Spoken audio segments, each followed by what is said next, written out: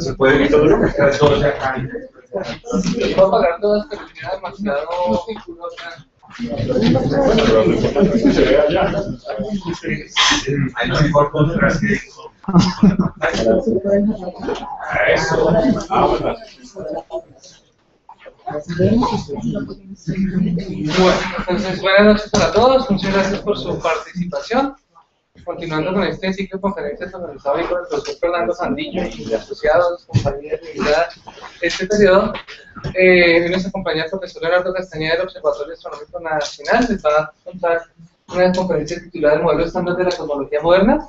Eh, el profe trabaja ya hace algunos años allá, es director de tesis de algunos de nosotros, por cierto, allá, espero que no nos regañe ahorita más tarde en el quinto, pero bueno.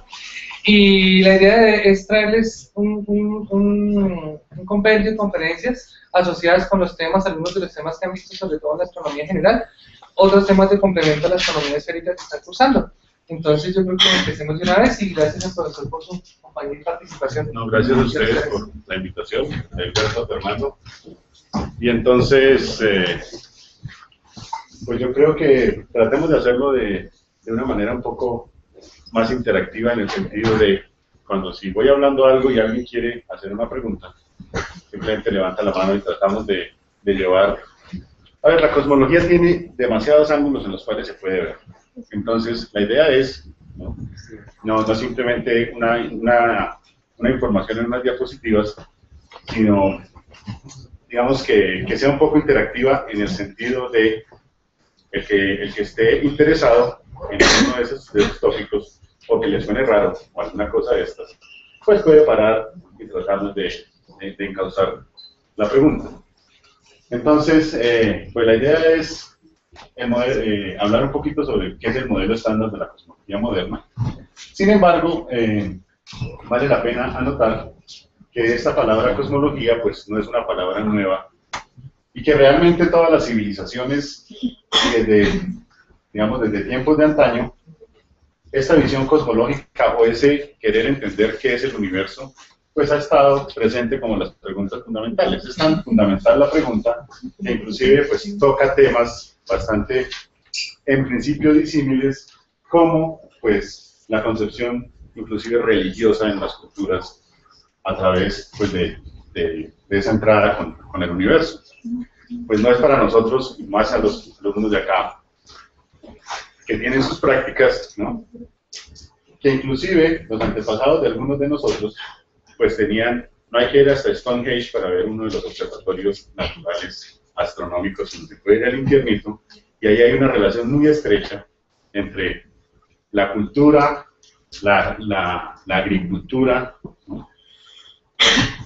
Y la visión cosmológica y cosmogónica que se tenían los antepasados acerca de pues, la contemplación de, de ese universo. Y realmente ha pasado, eh, han pasado inclusive pues muchos años en la historia del hombre y solo hasta el, hasta el siglo pasado realmente se le pudo dar alguna interpretación a esa palabra completa universo. Y eso tiene que ver con algunas dificultades muy profundas que tenía la física eh, antes de comienzos del siglo pasado. Entonces, Newton inclusive, pues él se jactaba, y así lo hizo, que su mecánica newtoniana, las tres leyes del movimiento, junto con la teoría de gravitación universal, deducida a través de las observaciones astronómicas a ojo que, había hecho, que habían hecho personajes anteriores entonces se pudo establecer una ley muy, muy interesante, que es una ley de 1 sobre r al cuadrado. ¿no? no es ni 1 sobre r a la 1.9999 ni 1 sobre r a la 2.000. Hoy se ha medido esa ley 1 sobre r cuadrado en experimentos de microgravedad con un orden en 10 a la 3, es decir, el error experimental está en la treceava cifra decimal. Y eso implica muchísimo, implica que Newton por lo menos descubrió cómo funciona la gravedad. No sabemos todavía qué es la gravedad, pero sí por lo menos cómo funciona. Esa ley 1 sobre r cuadrado también nos dice mucho sobre las dimensiones que tiene nuestro universo, porque toma las dimensiones que tiene y no otras. No sabemos, las leyes de Newton son postulados, y ustedes saben que los postulados no se demuestran. Los postulados, lo que se puede hacer en una teoría física es mediante un experimento, digamos que la teoría pase el experimento, o si un solo experimento falla, la teoría realmente se va a la basura. Y entonces, antes de 1900, la teoría newtoniana había pasado todos los experimentos y los mayores experimentos se hacían en el sistema solar. O sea, Newton se jactaba que en el sistema solar su mecánica funcionaba como un relojito suizo. Y era allí donde realmente se plasmaba pues, la magnitud de lo que es la mecánica newtoniana. Obviamente, hoy en día, pues son muy pocos, o bueno, no muy pocos, pero la mayoría cuando diseñan a nivel de, experimentos locales u obras locales, ¿no? un puente no, se ve uno allá viendo al ingeniero diseñando el puente, mirando cuáles son las correcciones relativistas a la teoría de, Newton. O sea, es una teoría que realmente sirve, sirve en el sentido no solo práctico, sino que ha servido como base fundamental para construir teorías que tienen en cuenta, digamos, los avances y nuevos fenómenos de la física. Y los nuevos fenómenos de la física tienen que ver con la propagación de ondas electromagnéticas. Para establecer la mecánica newtoniana, Newton necesitó definir una propiedad que todos estamos familiarizados, pero... o dos propiedades. Una es definir el espacio, el espacio físico, como un ente de tres dimensiones. Euclidiano, eso quiere decir que ya se empezaba a mirar la relación entre las matemáticas y la física, que es una relación que simplemente eh, los egos han dividido. Los egos, la matemática y la física es un matrimonio indisoluble. ¿no? Usted le pregunta a un matemático, entonces le dice que la, que la, física es un epsilon de la matemática, porque todas nuestras leyes ¿no? las matematizamos, pero también hay que recordar la cantidad de avances en matemática que ha producido la física, es decir, los movimientos de los fluidos, por ejemplo, han dado origen a todo ese análisis de las ecuaciones diferenciales parciales, que es en el lenguaje en el que escribimos básicamente todas nuestras teorías. Pero quedaba ese espacio absoluto que nadie lo encontraba. Y además, pues nadie se, se pregunta cuando ustedes se desplazan de acá para acá. Entonces, ¿cuáles son esas propiedades físicas del espacio? O si nos encerramos en una caja, y nos desplazamos. La idea es, ¿nos desplazamos dentro del espacio o nos desplazamos con el espacio o qué es un desplazamiento allí? Realmente el problema del espacio absoluto no lo pudo resolver Newton. Se inventó algunas, algunas uh, digamos, explicaciones. Hay una crítica muy interesante de Marx sobre el movimiento, porque mientras no podemos distinguir cuando los, los observadores van, uno con respecto al otro, a velocidad constante dentro de ese espacio absoluto, sí podemos distinguir los movimientos acelerados.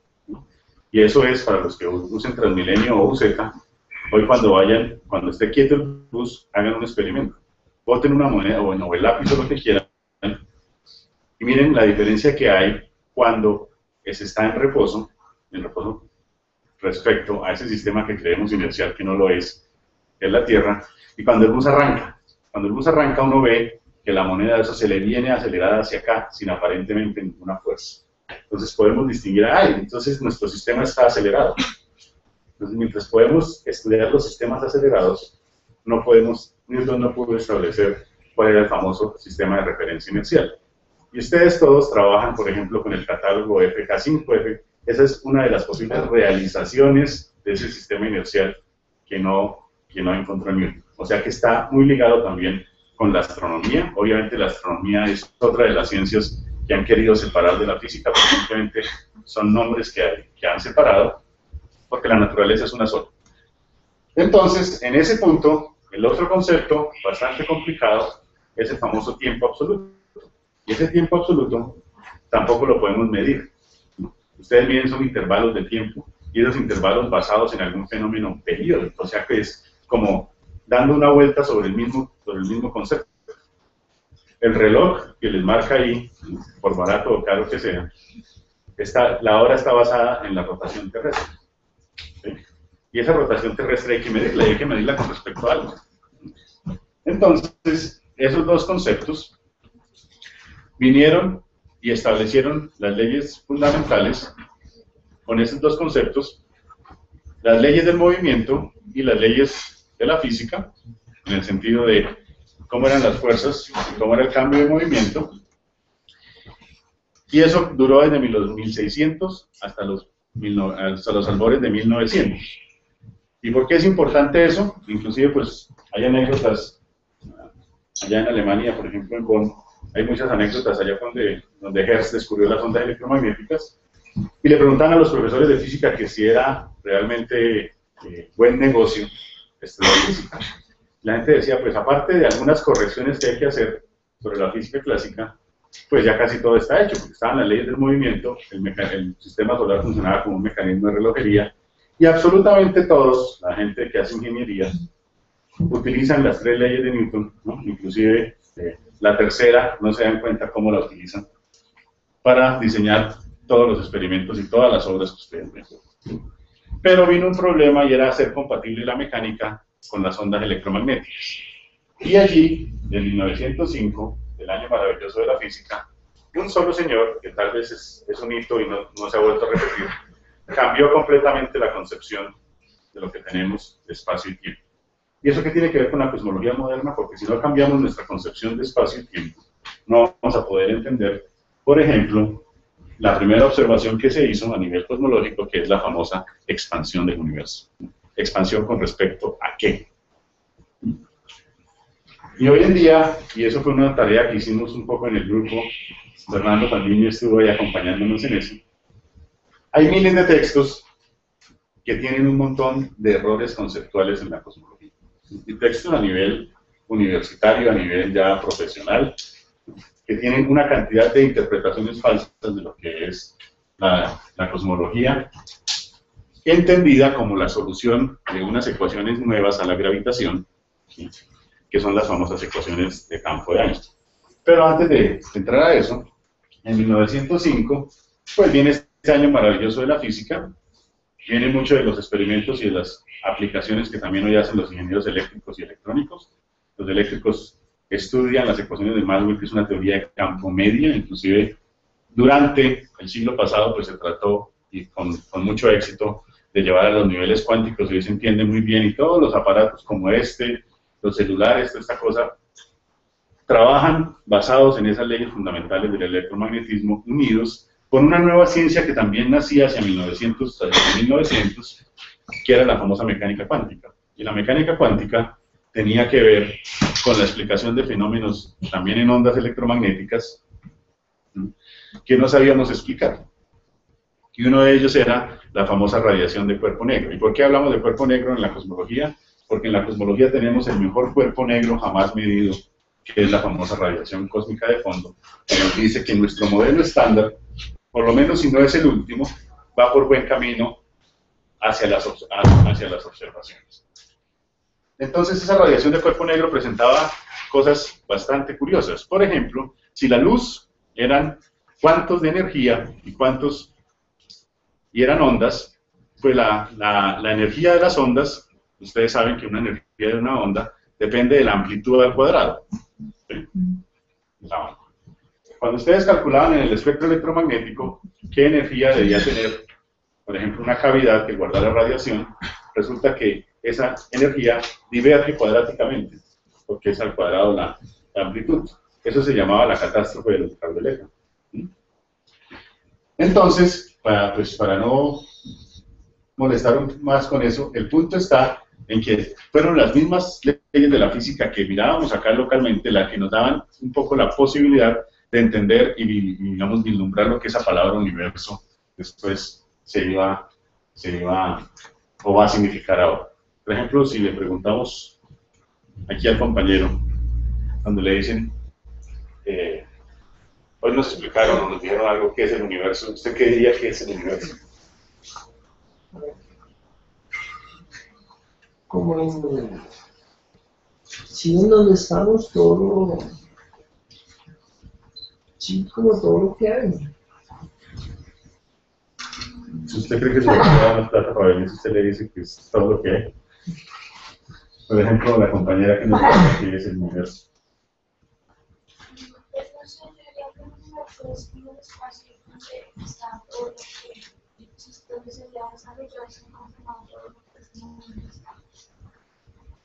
Entonces, espacio existe, ser, es, o sea que ya también tiene un carácter filosófico. Yo vean que no sabemos contestar, por ejemplo, ese tipo, ese tipo de preguntas. Y sabemos, y todos los días lo decimos y hablamos, ¿no? Y el tiempo y hablamos del espacio, sin embargo, eh, esas preguntas realmente tuvieron que esperar la genialidad de este tipo, de Einstein, para, para darnos un poco más a, a la visión de lo que es. Entonces, como les mencionaba, viene ese año maravilloso de la física, y Einstein publica una serie de trabajos en el cual está el efecto fotoeléctrico, todas las aplicaciones que hacen ahora con transistores, toda esta cosa de efecto túnel, están basados en, esas, en esa nueva dinámica que hay a nivel microscópico, que es bien diferente ¿no? A la que vemos cotidiana, cotidianamente. Y es un, algo bastante interesante que aún la física no ha podido resolver, no se sabe si es más fundamental. La física clásica, con sus leyes de movimiento y sus leyes deterministas, o la mecánica cuántica, que no tiene leyes deterministas, aunque tiene una ecuación de movimiento, que es la ecuación de Schrödinger, yo por ahí vi a alguien con la camiseta del gato de Schrödinger, ¿no? Y entonces, ahora esas ramas vienen y quitan o nos dejan sin piso un montón de cosas. El electromagnetismo nos deja sin piso la mecánica newtoniana debido a que las leyes del electromagnetismo no son invariantes ante la, ante la relatividad de Galileo. Pero para no irnos en una clase de física, vamos a mirar o a tener en cuenta que esas leyes, esas leyes empiezan hacia, hacia comienzos del siglo pasado, digamos, a hacer, a hacer eco en la física teórica, y viene este señor, como les digo, en 1905, y formula una teoría que se llama la teoría especial de la relatividad, donde le quita el carácter, el carácter absoluto al espacio y al tiempo. Y el espacio y tiempo vienen ahora a ser un enjambre, ¿no? hasta donde sabemos hasta el momento, como lo aplicamos, un continuo de cuatro dimensiones en el cual vamos a mover los campos de materia. ¿no? Eso quiere decir que la dinámica que le vamos a colocar al universo va a estar descrita en cuatro dimensiones. Y otra de las cosas interesantes es preguntar, ¿no? ¿qué es una dimensión? Ahora a uno le gusta mucho escuchar cosas esotéricas y decir, es que la teoría N dice que vivimos en 12 dimensiones y la de cuerdas en 26 y la de, y la de pero ya las pasaron y las compartificaron a 11. Pero la misma noción de que es una dimensión, ¿no? Pues viene y nos da, nos da problemas en matemáticas. Por ejemplo, el profesor John, John- John Fabio, que es de matemáticas, nos, nos puede decir qué es una dimensión.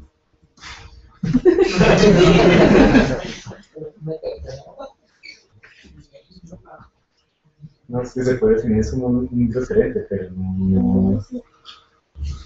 Sí, es, es un campo de medida de un sistema referencial. Ya le metimos otra cosa, un sistema de referencia. Para darnos que es lo que es un sistema de referencia. Ah, es un conjunto de elementos que permiten eh, definir posiciones y establecer características de, de un modelo sobre un espacio que estoy definiendo de alguna manera. Es que la visión es geométrica. La visión es geométrica, o sea, la, la visión, digamos, de dimensión, en principio, es geométrica. La visión, porque usted dice ahora, tengo esto, digo, eso es unidimensional. Inclusive lo hago y hago una inyección con los números reales, ¿no? Y la trato como continua. Esa es una dimensión. Sí, en cuanto le designo, digamos, una, una característica pues, que se asocia a los números reales. Entonces eso casi le cuesta a... ¿Cómo se pronuncia? Ah, bueno, aquí se, se dice Descartes, ¿no? yo no sé cómo se dice en francés. Pero la coordinalización del espacio tampoco fue una cosa que la gente estaba aceptando de buenas a primeras. Entonces, cuando uno ve y empiezan a, quitarle el piso, ¿no? Y a moverle esos conceptos básicos, pues se le derrumba todo. Absolutamente todo. En principio uno dice, "Uy, ¿qué tan difícil es el cálculo? Pero el cálculo uno va y abre y entonces dice la integral de x de x, x cuadrada sobre 2, ¿no? Newton tuvo que construir la matemática para poder hacer la fuerza gravitacional entre dos cuerpos, Y ahora no tenemos matemática completa para decir, bueno, la gente que hace teorías muy interesantes como las teorías modernas de cuerdas, tiene que construir su propia matemática para poder hacer eso. Este señor se basó también en hombros de gigantes, y basados en ideas de matemáticos muy famosos como Riemann, ¿no? Ricci de Civita, construyó una teoría geométrica para la gravitación. ¿Qué quiere decir eso? Que ahora ya no vamos a entender la gravitación como si yo me paro aquí en mis dos manos y me dicen calcule la fuerza, entonces yo asignaba en un espacio preexistente un vector tal que me decía que la fuerza era proporcional al producto de sus masas, de las masas que hay y otros dos conceptos, e inversamente proporcional al cuadrado de la distancia euclidia entre ellos. Esa ley funciona, con eso mandan aviones, mandan eh, satélites, mandan con todo, todo lo que está basado, SGM, SG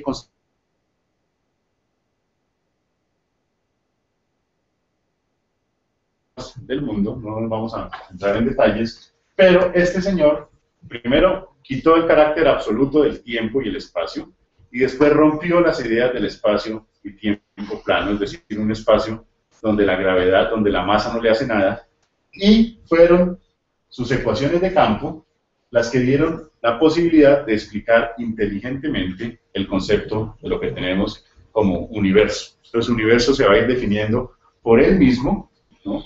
A través de estas propiedades matemáticas.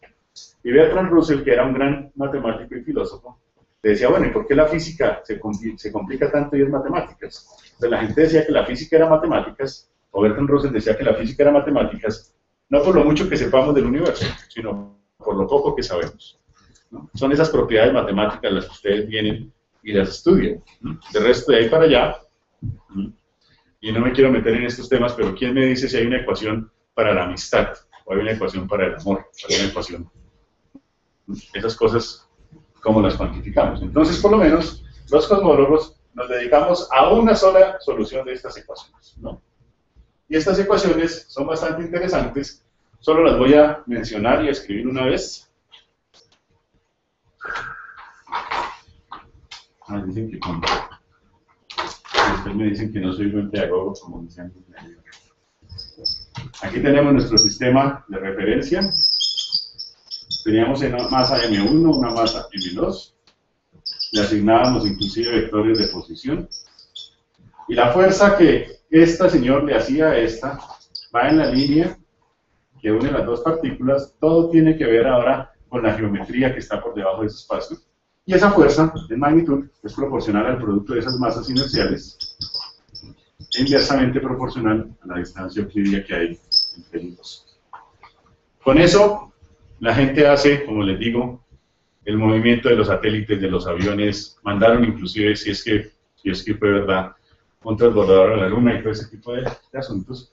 Y para haya otra dificultad, hay libros enteros y nosotros, cuando, cuando uno estudia física, se le dedican un semestre entero a solucionar esta ecuación de movimiento porque como humanidad sabemos resolver este problema donde hay dos masas. Si ya queremos meter una tercera masa, sabemos escribir la ley de movimiento, pero no sabemos cuáles son sus soluciones. Sus soluciones quiere decir cómo cambia este vector de posición en el tiempo. ¿no? Entonces no sabemos ni, sabemos resolver dos, pero no sabemos resolver ya tres. Ya no sabemos resolver el sistema Sol, Tierra, Luna. Claro, hay gente dedicada a la mecánica celeste, gente muy seria que, inclusive los que tengan el billete de 20.000 a la mano, ese señor que está ahí pintado, se llama, se llamaba Julio Garavito Armero, y él es uno de los que tiene una teoría acerca de cómo es el movimiento lunar.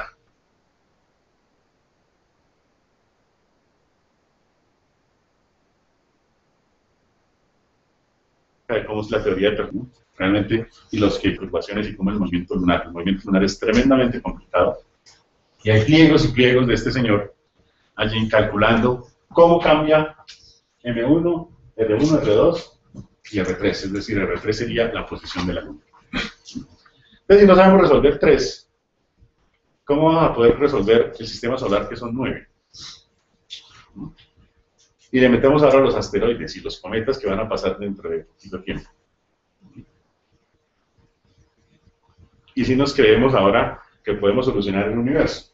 Resulta que este modelo ¿no?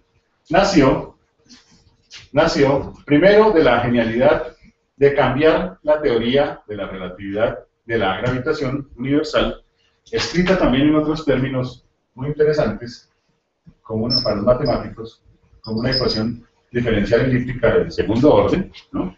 necesita condiciones de frontera. Y esas fronteras nos han dado todo el tiempo por la cabeza a, quien quiera estudiar.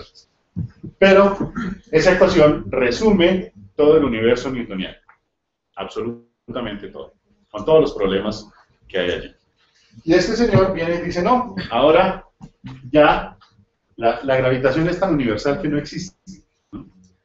Y ahora esta ley 1 sobre r cuadrado y estos vectores se van a convertir, ¿no? y también es un monacho nomás, no lo puedo pintar, nadie lo puede pintar de otra manera, en los famosos ejemplos que ustedes ven, el Sol y el espacio, que ahora antes era rígido y euclidiano, sus propiedades métricas, es decir, la distancia entre un par de puntos, acá no depende de las masas, ¿no? Usted le dice, mide un metro, y uno llega y mide un metro acá, ese no va a depender, ni menos cuando uno es gordo como yo, no va a depender que haya una presencia de una masa, en la teoría de la, de la teoría newtoniana.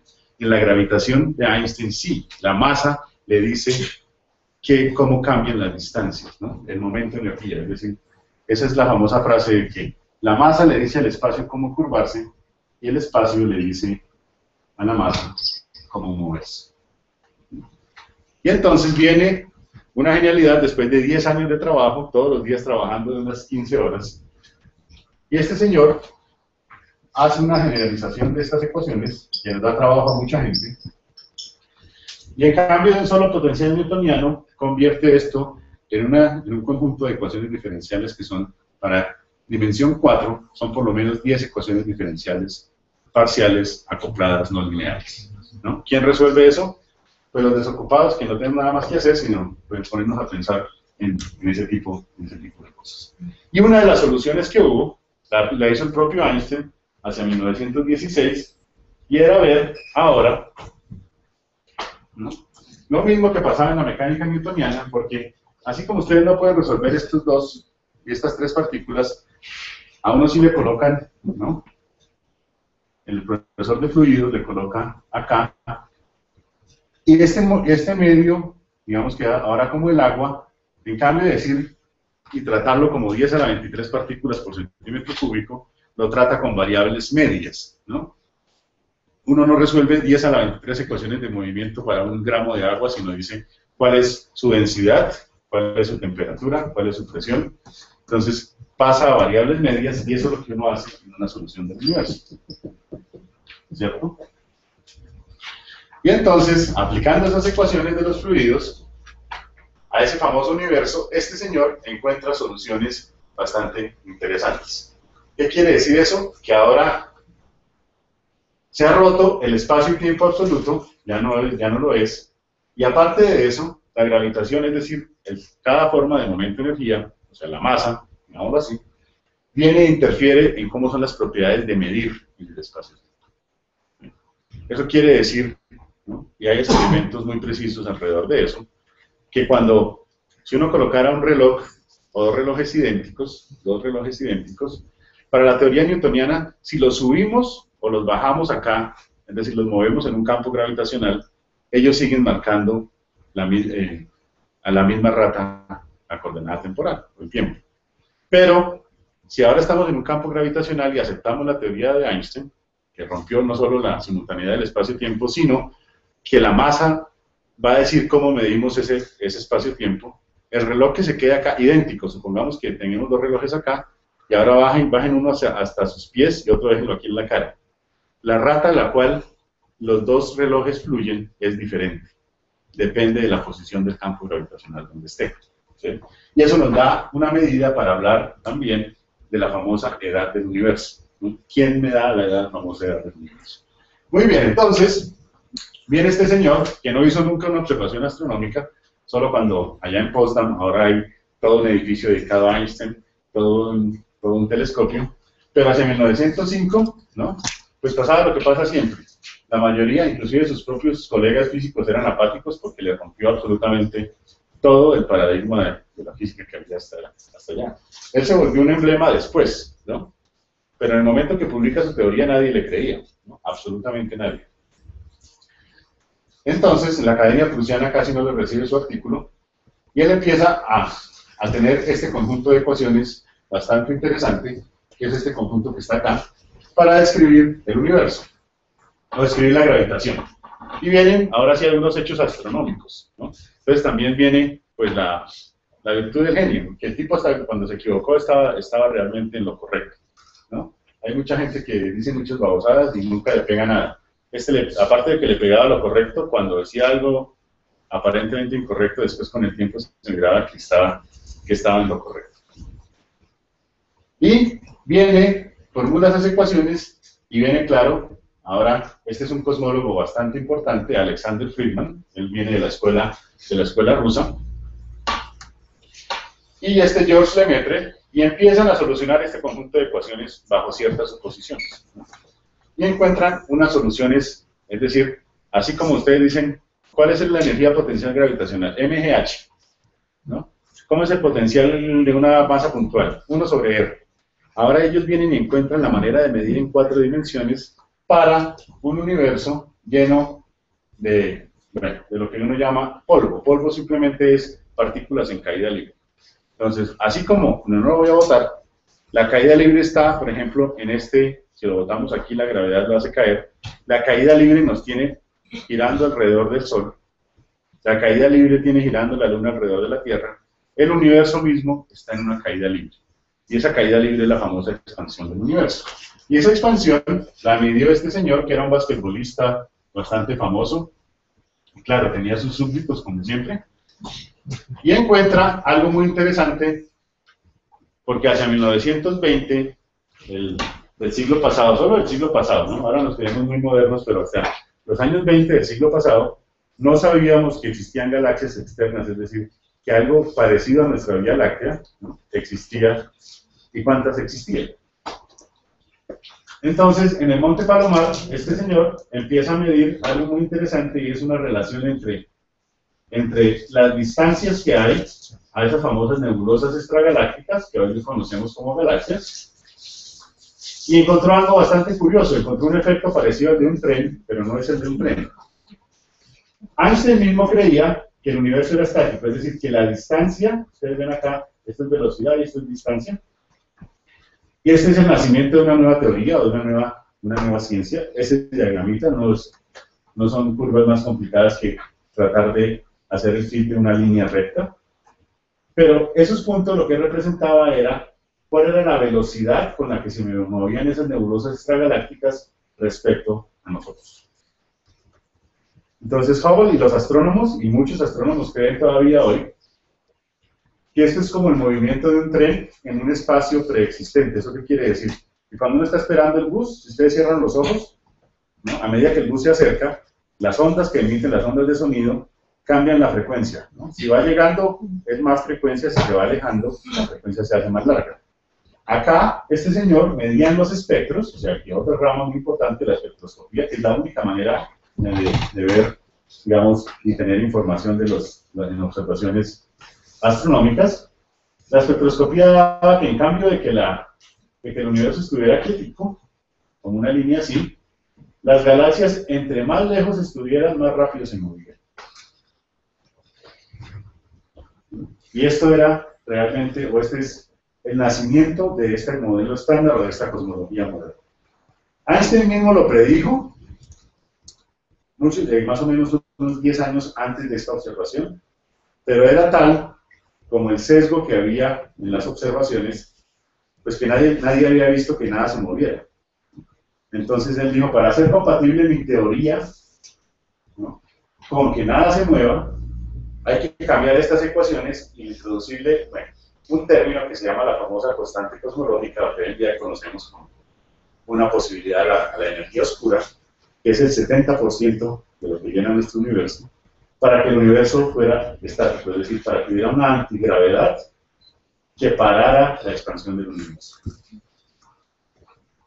Entonces, él hace sus soluciones y lo invitan después, hay inclusive unos videos muy famosos, este señor lo invita al Monte Palomar, y cuando se da cuenta de que sus ecuaciones habían predicho que el universo estaba en expansión, él dice que su constante cosmológica es el mayor error de la vida. Pero solo en los años 60 y 70 se vuelve a retomar por problemas muy fundamentales en física esa famosa constante cosmológica. Y hoy es más o menos el 70% de la materia y energía que, que gobierna el universo. ¿Cómo se ve eso? Eso no se ve aquí en este salón. Pero sí se ve, por ejemplo, en las medidas de las distancias a las supernovas. Eso más o menos fue el premio Nobel del año 2010. ¿no? La expansión acelerada del universo medida a través de estas candelas estándar, las supernovas. Muy bien, entonces viene acá, y como le digo, muchos astrónomos todavía creen que esto es un efecto Doppler, pero esto no es ningún efecto Doppler de moverse en un espacio preexistente. Esto es la dinámica misma del espacio-tiempo. ¿no? Y entonces, cuando aplicamos esas ecuaciones, hoy en día,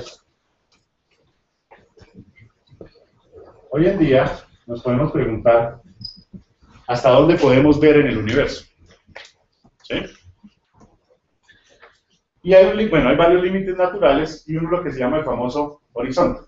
Horizonte es que por más que tengan plata y construyan telescopios no van a ver más allá de esa, distancia. Pero lo curioso es que esto es del orden hoy de 4.000 megaparsecs. ¿no? 4.000 y megaparsecs son millones de parsecs en una distancia astronómica. Si echamos hacia atrás en el tiempo cosmológico las ecuaciones, podemos ver que esta mismo, este mismo espacio, tiempo, estuvo confinado a una región de menos de un tamaño de un núcleo. Bueno, déjala menos 15 centímetros. ¿Qué es un megaparsec? Su profesor de astronomía no les ha explicado qué es el parsec. No, No, la no pero ese también profesor es- Este carteño es-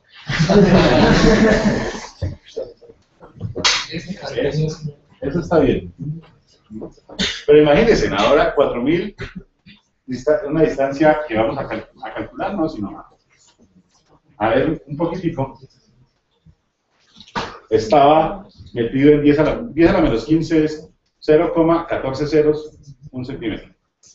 Que ahora ha crecido hasta donde no, ni siquiera nos imaginamos donde vemos. ¿no? Y eso es la gravitación la que hace eso. ¿no? Muy bien, entonces el parsec, hagamos un experimento aquí muy simple y cojan ustedes el, estiren los que quieran el dedo acá y traten de ponerlo acá con referente aquí a la pantalla. Y ahora, no, ahora el siguiente paso es agarren y cierren un ojo ¿no? Y el otro y empiecen a hacerlo así. ¿Ustedes qué observan? Que el, que- el dedo aparentemente se desplaza respecto a ese, a ese fondo, ¿cierto? Entonces, pues así hacen los astrónomos para poder medir distancias.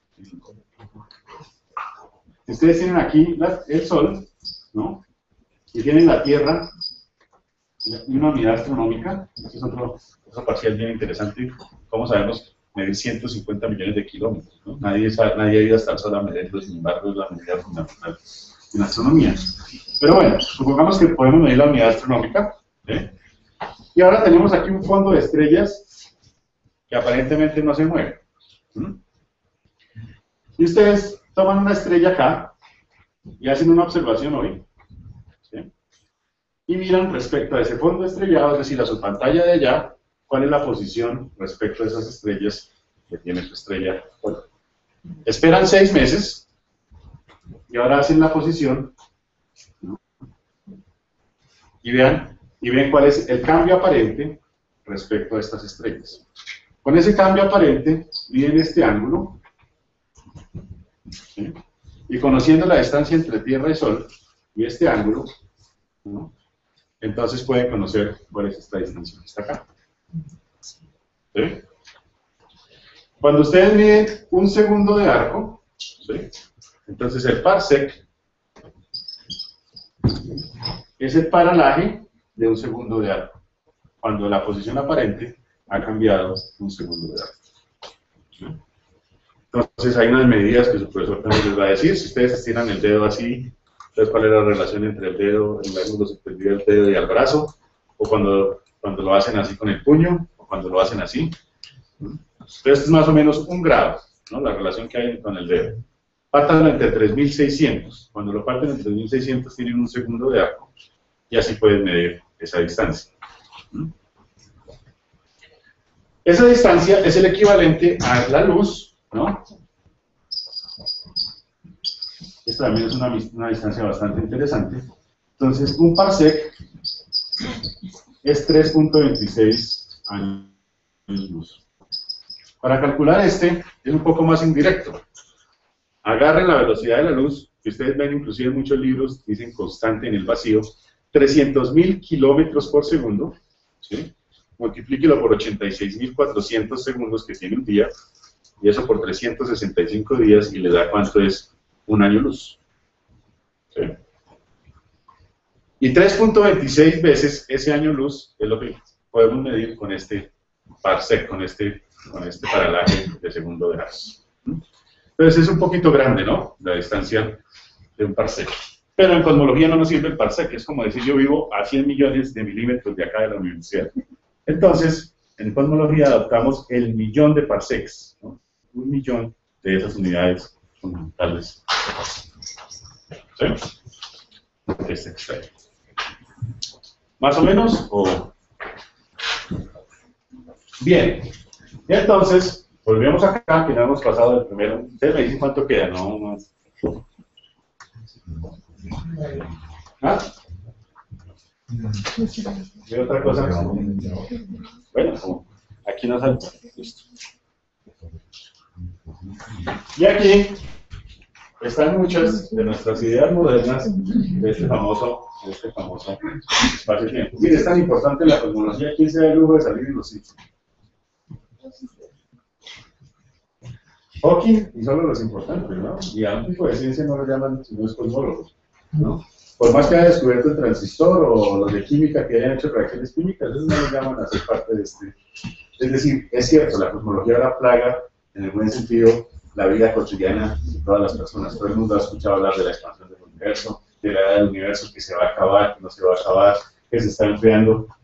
Eso, digamos, hacia 1950, en el siglo pasado, eh, no era muy bien visto que un físico se dedicara a la cosmología, ¿no?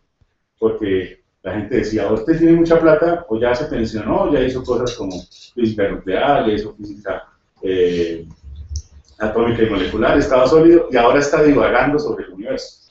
Hoy en día hay profesión de cosmólogo, pues en la parte de física usted puede dedicarse dentro de la relatividad general o de las teorías de gravedad a una solución que es la famosa cosmología. Y esa cosmología es bastante interesante porque de pasar de ser casi una especulación, ahora tiene más datos y necesita más gente que la que tiene en el famoso LHC, el, el experimento que está analizando el bosón de Higgs, que este es el premio Nobel de este año. La cosmología hoy antes carecía de datos y era simplemente, como les digo, a los filósofos o a los, o a los físicos que se les corría más la cabeza de lo que la tenían para dedicarse a esas cosas. Hoy en día tenemos muchos datos que empiezan a validar ese famoso modelo del Big Bang caliente, ¿no? dado por la teoría de relatividad. Entonces, aquí hay muchos, muchos digamos, eh, muchas cosas que se pueden decir. Esta, esta campanita, que se la, tenemos, eh, todos los, las que dicen alguna charla de cosmología se la roban de internet y no sé quién la hizo, tiene toda la historia de esa formación cosmológica. Y tiene muchas cosas acá que hacer. Una de las cosas interesantes es esta línea. Aquí dice 13.7 billones de años. Eso quiere decir más o menos 13.700 eh, en miles de millones de años. ¿sí? Para los, eso es pura medida gringa, digamos así. Y este tiempo que está marcado ahí no es el tiempo ni de Newton, no es el tiempo que medimos en la, en la rotación de la Tierra, sino es una coordenada, o es un tiempo dado por la caída del universo. Es decir, este tiempo me lo está marcando qué tanta momento, energía, o qué tanto, cuáles son las constituyentes del universo. Lo mismo, si yo ahora dejo caer estos dos, estos dos señores que están acá, y llevaran relojes acá, podemos hacer experimentos de qué tan diferente marca lo que llama el famoso tiempo propio en cada uno de ellos. Y dependiendo del campo gravitacional por donde se vayan, ellos marcan una diferencia temporal. Uno dice, este, este está loco, quién sabe qué se fumó. Eso, eso se hace todos los días en pruebas de aviones. Usted manda relojes atómicos y, se, y los efectos de la gravedad en el tiempo se miden, ¿no? Claro, son del orden muy, muy, muy, muy pequeños, pero con los relojes atómicos se puede saber esas diferencias. Este tiempo, tiempo cosmológico, es el que, el que, el que marcan las galaxias ¿no? en esta famosa caída libre con el universo, en este. Es decir, que todos los observadores, incluidos nosotros, marcamos la misma historia cosmológica y llevamos un reloj, como lo lleva esta galaxia, esta galaxia, todas, y marcan el mismo intervalo de tiempo del satélite. ¿no? ¿Por qué? Porque ahora vienen dos suposiciones, primero hechas por estos señores, para que la matemática fuera un poquito más realizable, y es la famosa homogeneidad del universo. Homogeneidad quiere decir, a que algo sea homogéneo significa que yo no puedo distinguir entre un par de puntos entre ellos. E isotrópico. Isotrópico quiere decir que no depende de la dirección de donde yo mire, todas las propiedades estadísticas son iguales. Cuando eso nació, esa solución nació como una simplificación matemática de, las, de estas ecuaciones. O si no, no las podemos resolver. ¿no? Pero ha dado tan buenos resultados que hoy en día se ha adoptado como solución estándar. Pero no se ha, no ha adoptado como solución estándar no porque los cosmólogos no sirvan para hacer otro tipo de soluciones. ¿no? En nuestro grupo hay gente que trabaja en otro tipo de soluciones, sino que las observaciones astronómicas, digamos, nos dan la posibilidad de validar esas suposiciones de homogeneidad. La homogeneidad ya está dada en la famosa distribución de galaxias. Y la isotropía en algo muy interesante, de plena todo el universo, que es un vestigio de que posiblemente el universo ha evolucionado en un estado donde su materia era muy, muy grande, su temperatura, la, materia, la, la temperatura de esa materia era muy grande, y se ha venido enfriando. Y eso está acá. Entonces, este paso del tiempo no me lo da, no es el tiempo absoluto de Newton, es el tiempo que me da la caída libre del universo. Y aquí ustedes pueden ver que, digamos, esta campanita bastante bonita me marca varias etapas en la, digamos, en la, en la evolución de este, de este tiempo cosmológico. Otra de las cosas que no sabemos, ¿no? no sabemos es que nadie lo ha resuelto hasta el momento, hay gente que trabaja en eso, es por qué existe una flecha temporal. Es decir, por qué hay una, un sentido de evolución. Y podemos decir, evoluciona el universo llamamos pasado hacia acá y futuro, y lo podemos inclusive predecir. Hay algo mucho más intrincado en las ecuaciones, inclusive estas, pero en las ecuaciones de la mecánica, de la mecánica cuántica, de todas las teorías que se llama el famoso teorema CPT, carga, paridad y temporal. Unas simetrías muy interesantes, pero digamos que la, cuestión es que yo puedo echar hacia adelante y hacia atrás las ecuaciones, ¿no? las ecuaciones de Newton, y yo no puedo distinguir un cambio más t menos t. Por eso yo puedo hoy en día, con mis parámetros actuales, echar hacia atrás las ecuaciones de la relatividad, estas, y predecir cómo fue el pasado del universo, y medirlo, y de acá predecir cómo es el futuro. Pero todavía no sabemos por qué existe una flecha temporal. Absolutamente. Muy bien, entonces viene la gente y empieza a invertir plata, y empieza a contratar buenos ingenieros, por ejemplo, para construir el WMAP. El WMAP es el experimento más caro que ha habido sobre la uno de los más caros que ha habido en la Tierra. ¿Y para qué es eso? Para mirar sencillamente este descubrimiento que es bastante famoso y ustedes lo ven, mire, está COBE 1992, WMAP 2003 y Planck 2013. ¿sí? Y es, es un experimento diseñado para medir esta etapa del universo. Entonces, antes de hablar un poquito de este, miren la forma de la campana. Entonces, esta forma de la campana no es que sea la forma del universo. No hay ecuaciones a la fecha que nos digan cuál es la forma del universo. Y eso es muy interesante por lo siguiente. Las ecuaciones de Einstein, estas, me dicen cómo es la geometría del universo, pero no me dicen cómo es la topología del universo. Y eso tiene que ver con algo, si, si el, el, compañero nos regala una hojita, y usted mismo hace el experimento con esto. Entonces, haces un triángulo ahí, y me lo muestran los compañeros. Sí, un triángulo cualquiera. Y muestre la hoja así. Entonces uno dice, ah, mire, la suma de los ángulos internos 180, la desigualdad triangular, no sé qué, vivimos en un espacio plano. Ahora agarre y forme un cilindro alrededor de eso.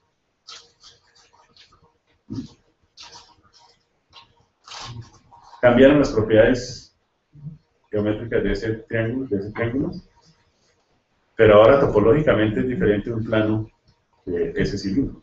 Nosotros no sabemos si vivimos en un universo que tenga una forma bien extraña. Ya claro, es en cuatro dimensiones. Hay que, hay que, tenía amigos allá en Bonn que se tenían imaginarse cómo era la esfera en cuatro dimensiones, pero habría que hacer algo parecido para poder mirar esa famosa topología. No sabemos cómo es la topología del universo, pero por lo menos ya nos damos una idea de cómo es la geometría, es decir, cómo medimos esas propiedades. Y en esta campana, entonces, que no es, la, no es la topología ni la geometría, es una manera de hacer una gráfica.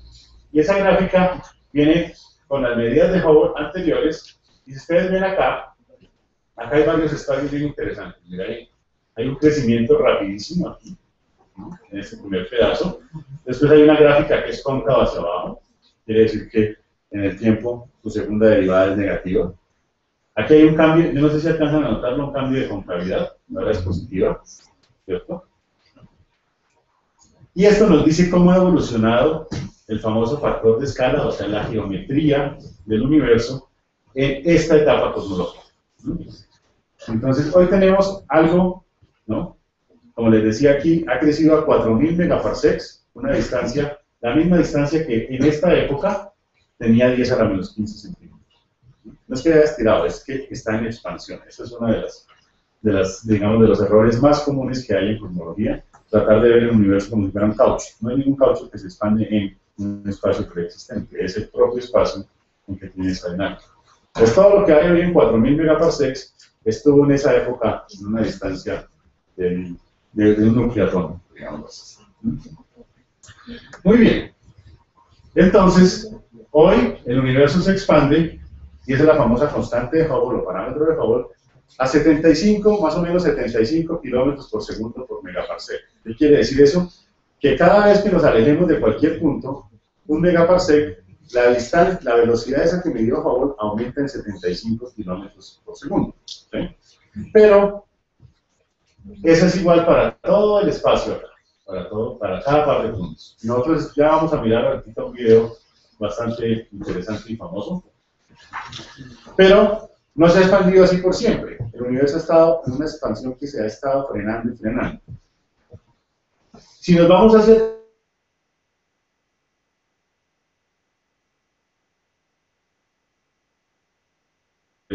digamos, de atrás, y ese hacia los átomos cuando hacemos observaciones como las que hacemos con el WMA, a, este a, esta etapa. A esta etapa el universo no se expande a 75 kilómetros por segundo por megaparsec, sino se expande más o menos como 1 más z, es decir, cojan 1 más 1100, o sea, cojan 1100, elevenlo al cubo y saquen la raíz cuadrada. ¿Cuánto da eso más o menos?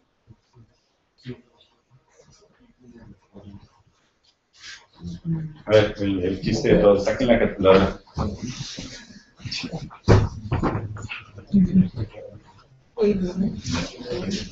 Mil cien a la tres medios, más o menos.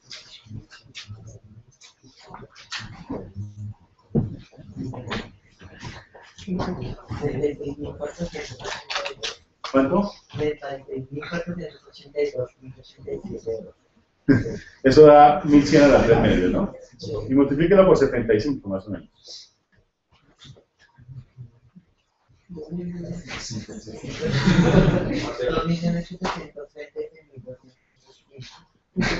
Esa sería más o menos la velocidad de expansión del universo en este punto que está acá. ¿Ustedes no ven algo raro? ¿No les han enseñado que la velocidad máxima es de 300 metros por segundo? Y él nos está diciendo aquí que de, de 2 millones. ¿no? Una cosa es la, transmisión de información, cómo las, las ecuaciones evolucionan causalmente, y otra cosa es el propio espacio-tiempo, cómo evoluciona. Él no tiene ninguna restricción de que la velocidad de recesión de las galaxias sea mayor que la velocidad de luz. Absolutamente. Y aquí lo vemos, este es un ejemplo. Y si nos acercamos más a este punto famoso, la velocidad con que se expande cualquier par de puntos es infinita. Es decir, el universo nació con, una velocidad muy, muy grande de expansión, pero no es una velocidad acá, como les digo, de medir este con respecto en este espacio. Es el espacio-tiempo mismo que está expandiéndose. Y cuando se está expandiendo acá va muy, muy rápido, y la gravedad empieza a frenar la expansión.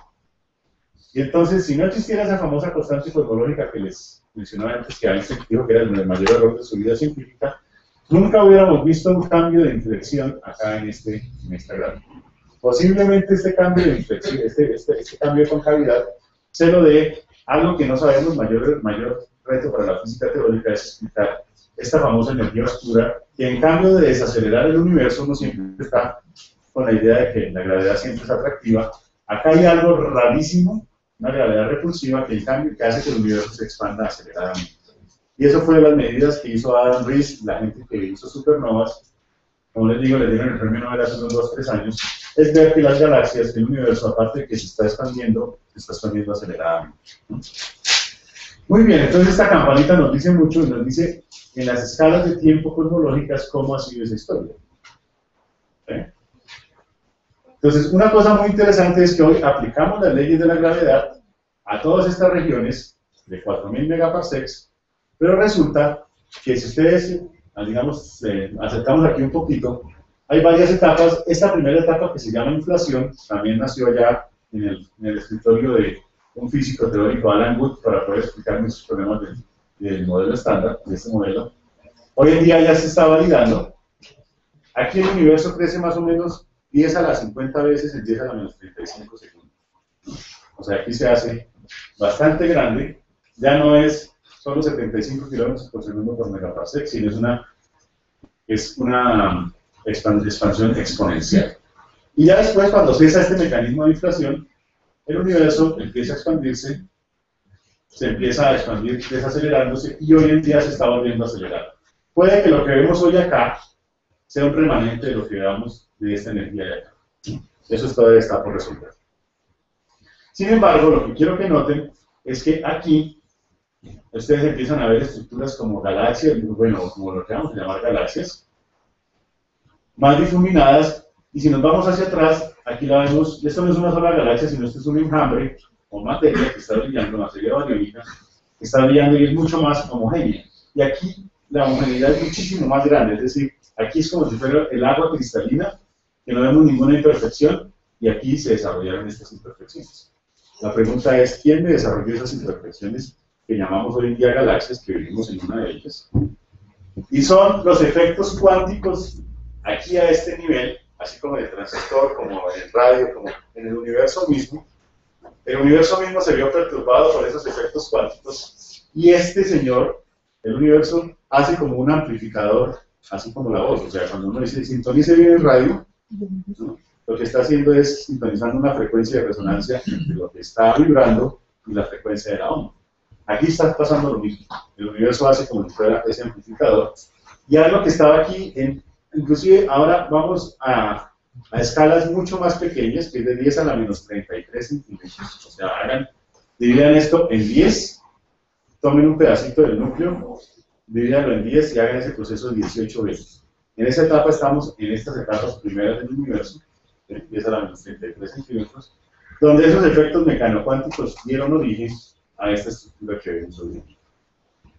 Entonces, otra aplicación de la física allí, la mecánica cuántica, en la explicación de estas, de estas, famosas, estas famosas galaxias.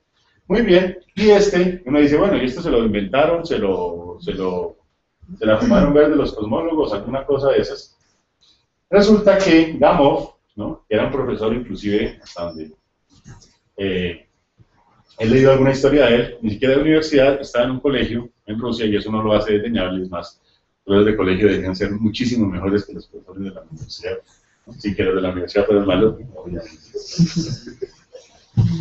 Y entonces, él predijo no solo cuántos elementos químicos debía haber formado aquí el universo, ¿no? sino que debería existir un fondo de luz, ¿no? que plenara todo el universo y hoy en día está a una temperatura más o menos de 2 grados encima del cero absoluto, 3 grados más o menos. Gamow la predijo, ¿no? publicó su artículo, otros señores, profesores de Princeton, Jim Peebles y sus colaboradores, también, digamos, basados en estas ideas teóricas, la predijeron.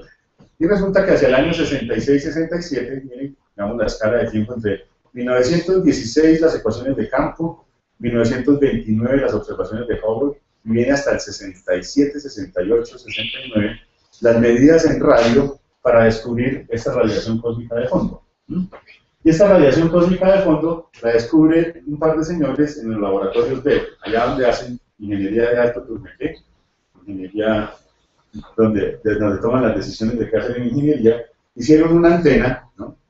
Y ahora también ustedes saben, el profesor de Gilberto está, tiene un grupo de radio, de radio acá, me parece la idea genial para ver esa señal. Hicieron una antena y resulta que les daba un, exceso de temperatura de antena, es decir, la temperatura que ellos deberían medir de antena, o sea, medida en el radiómetro, les daba más alta que la que pronosticaban solo con las ondas que debían recibir. Y era aún más curiosa, la ponían en esa dirección y les daba ese, ese exceso de temperatura. La ponían en esa dirección y le daba exactamente lo mismo. Las ponían en esa y les daba exactamente lo mismo. Entonces había unas palomitas allí y dijeron, no, es que el, el, coco de las palomitas está haciendo que la señal está maluca. Mataron las pobres palomitas, limpiaron, volvieron a medir igual para allá, igual para allá, igual para allá. Ellos reportaron eso como un exceso en la temperatura de antena, no dijeron que era cosmología. Y en la misma revista, más o menos unos tres artículos posteriores a los de Penzias y Wilson, está la explicación teórica por Jim Peebles de qué era esta, digamos, esta joya que había predicho la física teórica, ahora medida en ese, en ese exceso de temperatura. Y eso es el universo cuando tiene más o menos unos 300.000 años después de este Big Bang. ¿sí? Y en el televisor de la casa, los que conocieron televisores de tubos, ¿no? cuando se acababa la señal, cuando se acababa la señal, ustedes están muy jóvenes, no les tocó prender el televisor media hora antes para que diera la señal. Pero la antena era capaz de registrar, entonces uno empezaba a ver, no, no comenzaba toda la programación cultural, y habían rayas, y de un momento a otro en un lado de la pantalla aparecía un destello, en otro otro destello. Muchos de esos destellos provenían de esta radiación cósmica de fondo, es decir, el televisor ya estaba detectando el universo como era 300.000 años. Y esa radiación cósmica de fondo, digamos, es una joya para la física y para los cosmólogos. ¿Por qué? Porque nos trae información de cómo fue la física en esta, digamos, en esta, en esta época y nos permite hacer un panorama de cómo las galaxias han evolucionado, es decir, cómo la estructura ha evolucionado. No siempre han existido las galaxias. Ellas más o menos empezaron a formar en esta época, ¿no? y llevan de evolución unos 10 mil millones de años en, en evolución cosmológica. Muy bien.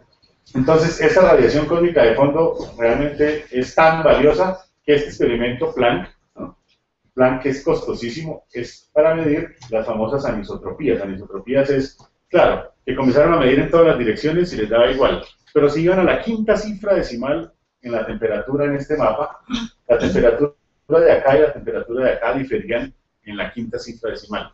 Y esa, esa, esa diferencia, digamos, eran como los, los, eh, los rizados del, del espacio-tiempo. Entonces, digamos que para la cosmología, el espacio-tiempo, el espacio, digamos, de tres dimensiones, era una, una sábana de estas sin ninguna imperfección, pero si, si no tiene ninguna imperfección, esas, estas galaxias nunca se habían podido formar. Pues resulta que cuando se nos miramos más detenidamente, este espacio-tiempo sí tiene como ondulaciones. Esas ondulaciones son propias de ese espacio-tiempo, son por, debido a efectos cuánticos, es decir, el mismo, lo mismo que hace funcionar los radios hizo funcionar la mecánica, la mecánica cuántica, hizo funcionar el universo en estas épocas. Y estas pequeñas inhomogeneidades empezaron a crecer hasta hoy en día tenemos galaxias de galaxias. ¿no? Entonces, los cosmólogos también se dedican, y eso nos dedicamos un poco en el grupo también, a mirar cómo se formaron estas galaxias, digamos, en esa, en esa historia cosmológica. Son ecuaciones bastante interesantes, complicadas, no nos vamos a, meter en esto. ¿Será que podemos cerrar un momentico esto y ver un video para que ustedes se den cuenta de que los astrónomos también, digamos, cómo han mejorado las técnicas observacionales y cuántas son las galaxias que hemos medido hoy en día, no solo pues, en un matachito de eso, sino en algo, en algo, eh, este, este. Este es bellísimo. Este es un, digamos, un survey de galaxias. ¿Será que no puede.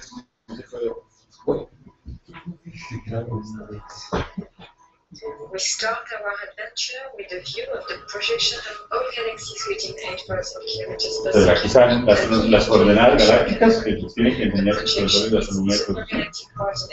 y. Y cada punto de ellos es una galaxia o un cúmulo de galaxias. The center and running around the edges. The nearest galaxies are in dark blue and concentrate around the Virgo cluster and the supergalactic equator to the right of center, or Bueno, around the que, cluster in the lower left quadrant. como les digo, esto es un, un rayado del, del cielo, en unas coordenadas se llaman las coordenadas galácticas. Y aquí tenemos nuestro cúmulo local, es decir, nuestra galaxia vive dentro de un grupo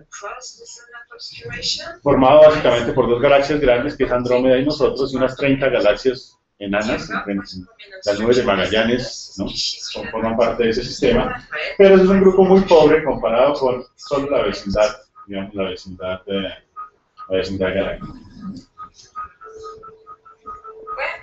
Esto lo galaxies importa, digamos, una de las cosas interesantes de, de estos datos son datos reales.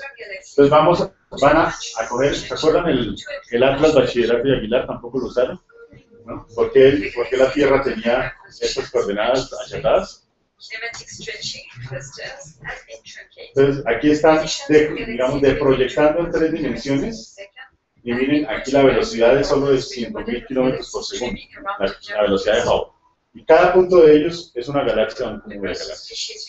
Estamos en un universo cercano, muy, muy cercano a nosotros.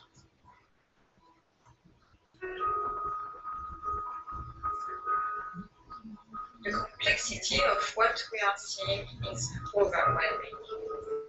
Let's get grounded by a visit to where we live. Puede que nos acerquemos ahí, para que veamos la Vía Láctea de. Son datos reales, ¿no? Son datos reales. We are now approaching the Milky Way, Entonces vamos hacia mirar dónde está la Vía Láctea. MS.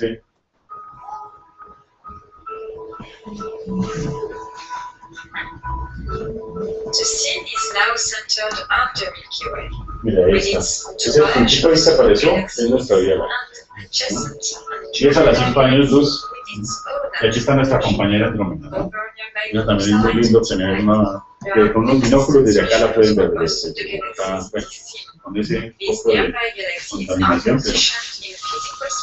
positions Y aquí empiezan a haber otras asociaciones de galaxias, cada punto de es una galaxia, una galaxia. Y vamos a ver 6 megaparsecs. de qué estamos rodeados a nivel de galaxias. Y esto es un universo muy cercano, muy, muy chiquito. Muy chiquito en, en escala. scene Escala que estamos observando.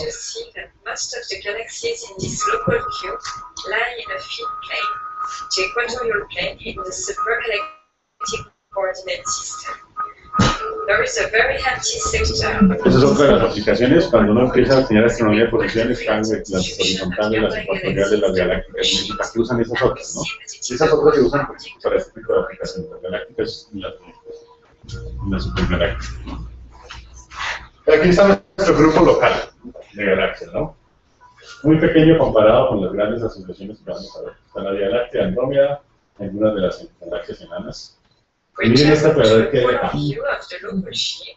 Ese es el gran atractor, como uno de. Virgo.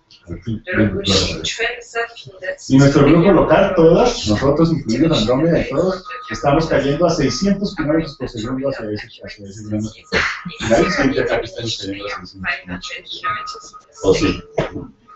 Es con respecto a esa radiación de fondo que podemos medir. esos 600 kilómetros. With the next scene, we draw back to see a full view of the entire width and the V8K catalog. Though what is shown is of sight slab 2,000 kilometers per second thick, centered on the supergalactic equator. The most prominent feature is the crowding of galaxies in a horizontal band, Mira, aquí está. just El below Libra, center, running left to right, from Hydra Centaurus for the Virgo cluster to the Ursa Major cluster and beyond. Other prominent features include the Fornax Entonces, esto no es mentira, cluster, esto es un survey de galaxias, es decir, de, and the de las Southern observaciones. Node de Todos estos puntos representan una galaxia, un cúmulo de galaxias. Entonces hay que hacer el espectro y localizarlo en la velocidad que lleva. El flujo de Hubble, que aplica uno acá en esta sabana, está medido a través de ese pure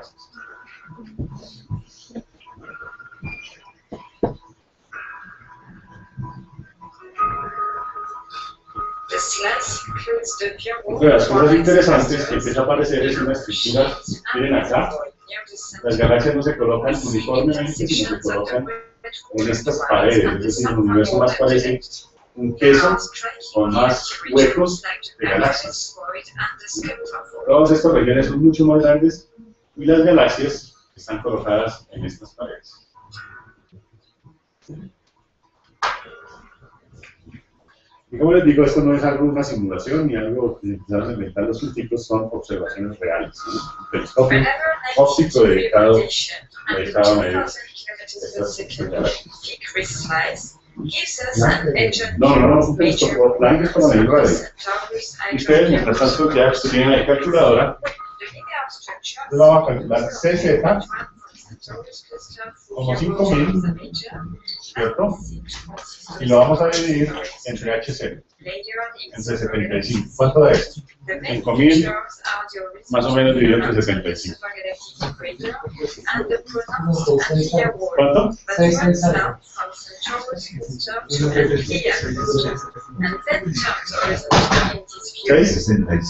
Ah, 66. Más o menos esa es la distancia que tenemos en ese cubo, 66 megaparsecs. Compárenlo con 4000 megaparsecs, que es nuestro horizonte donde vemos. O sea que estamos viendo simplemente algo muy cercano aquí a nosotros.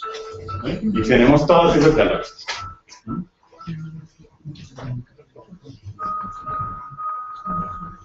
The scenes that have been shown give an inflated impression of the importance of the local region. We are aware of objects nearby. Estamos, estamos en, una, en, en esta escala más o menos de unos 60 70 megaparsecs. Eso es muy cercano, es muy, cercano. roughly the same Miren la cantidad de galaxias que hay, small batch of the universe that we are no solo la de nosotros, sino cada una de ellas.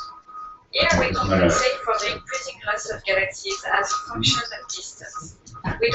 Entonces, si no sabemos resolver estos tres cuerpos, ¿cómo vamos a resolver todas estas galaxias? Vamos a ver que sí es posible hacer. un estudio. Vez es de capaz que me estoy extendiendo mucho, por eso lo first miren esa estructura tan interesante que aparece. En, la, en los como miren la gran pared, el gran tractor, centauros, bueno, cada uno de ellos. Pero todo esto importante es que es materia.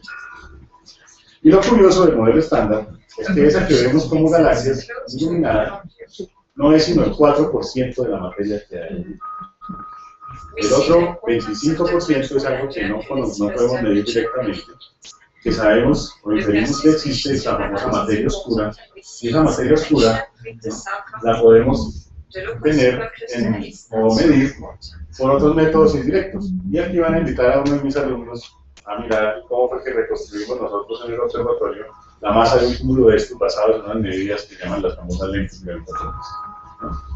Por el momento, pues, miremos un poquito que estos bloques, con- estos bloques fundamentales ¿no? que fueron de la vida de tres partículas en, en la gota de agua, eso, eso hacen las galaxias del universo. ¿no?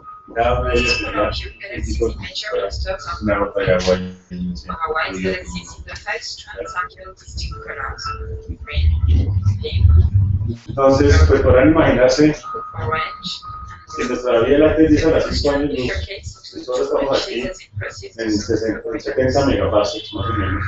Pues, las dimensiones que tenemos en la Tierra son minúsculas a mayor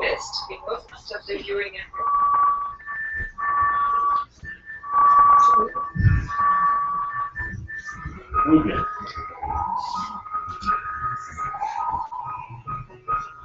Aquí otro punto interesante es que muchos- este trabajo que hace la gente de clasificación, de hacer este cubo de datos, de analizar este cubo de datos, pues es una comunidad. Muchas veces, digamos, eh, los ingenieros de sistemas juegan un papel muy importante en estos.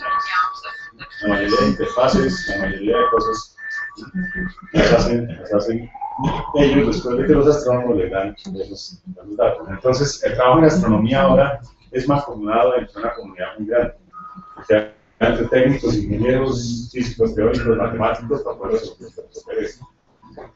Y aquí hay también cosas muy interesantes de cómo se organizan las galaxias en nuestro, en nuestro grupo. En nuestro grupo. Los colores están indicando, digamos, aquí, aquí había un mapa de colores, están indicando que no, digamos, uno esperaría que todas las galaxias se corrieran hacia el rojo, y eso es lo que va a aparecer ahorita, si la expansión fuera homogénea. Pero resulta que por ejemplo, si esperamos unos 5 mil millones de años, Andrómeda y la Vía Láctea se van a chocar. Eso se llama las velocidades peculiares. Ellas van a aparecer acá.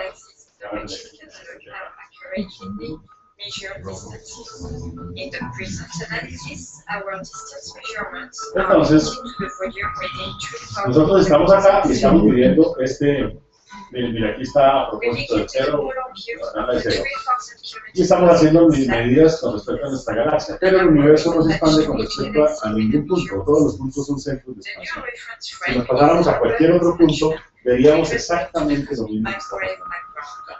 Y eso solo se puede dar si permitimos que el espacio-tiempo sea dinámico. Si no, si estamos en un espacio fijo y ellos van corriendo hacia las puertas, entonces, los que están desde acá hacia la puerta, no los ve que se están alejando, pero los que están que está en la puerta, ve que se están acercando. Así, si fuéramos a cada punto de ellos, veríamos exactamente este mismo panorama. Es decir, el universo se expande sin centro, todos son centros de expansión. Nuestra propia Vía Láctea es un centro de expansión. Aquí van a aparecer, van a aparecer unos campos de velocidades muy interesantes. Esos son los campos de velocidades.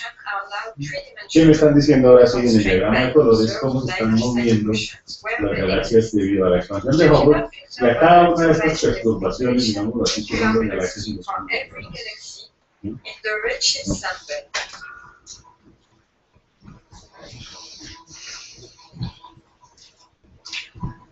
Another transition replaces the individual vectors like galaxies with velocity flow lines. Y ellos reconstruyen el mapa de velocidades, corriendo hacia el azul, ¿vale? acercándose hacia el rojo. Y aquí tenemos el gran atractor, la parte donde no hay materia, o donde la materia es más escasa. como les digo, todo lo que traza es materia luminosa, pero solo es el 4% de lo que vemos. El otro 20 25% es materia oscura, que está dentro de esos puntos. Y miren las líneas de flujo del campo de velocidades de cada una de estas estructuras hacia el cielo.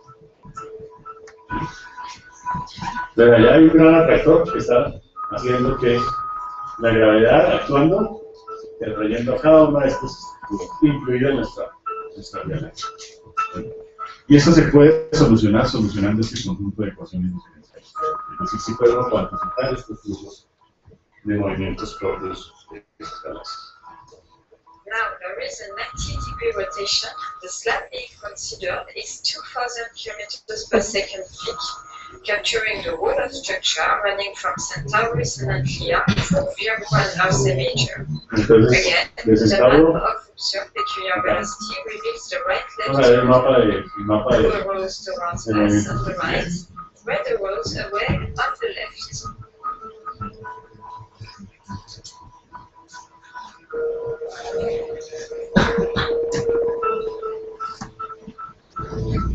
Entonces, ahora, estos son los, los datos de la gente dedicada con la gente de las situaciones cronológicas, tal vez es muy rápido de ver. Es trazar la trayectoria de cada una de estas, de estas pepitas en, un, en estos potenciales gravitacionales. Puede resolver millones de partículas en esos potenciales gravitacionales. Hay dos maneras de hacerlo, a lo pobre, o sea, con modelos medios, como modelos de lado, y otro algo rico es haciendo simulaciones en computadores que son más o menos todo este edificio de ingeniería de tipo computador para hacer unas simulaciones. Pero lo interesante es que ya podemos cuantificarlas, tenemos la manera matemática de expresarse el ejercicio del computador. Oiga, ayúdenos a resolver esto, que es digamos, este volumen del universo, de cómo han evolucionado esas estrellas. Pero ustedes ven, este es otro mapa lindo de velocidades, de cómo es toda esta gran acumulación de masa y cómo se está moviendo cada uno de esos view hacia ese looking at the slab at the plane of the delta Q. The dominant motion is away Se from pueden imaginar también cuál ha sido el desarrollo tecnológico que hay. ¿no? Salgan a ver si uno abajo puede ver inclusive eh, cuántas, hojas, cuántas estrellas abajo. Esa es otra de las preguntas interesantes. Abajo, en una noche clara, ¿cuántas, cuántas estrellas pueden ver ustedes por ahí?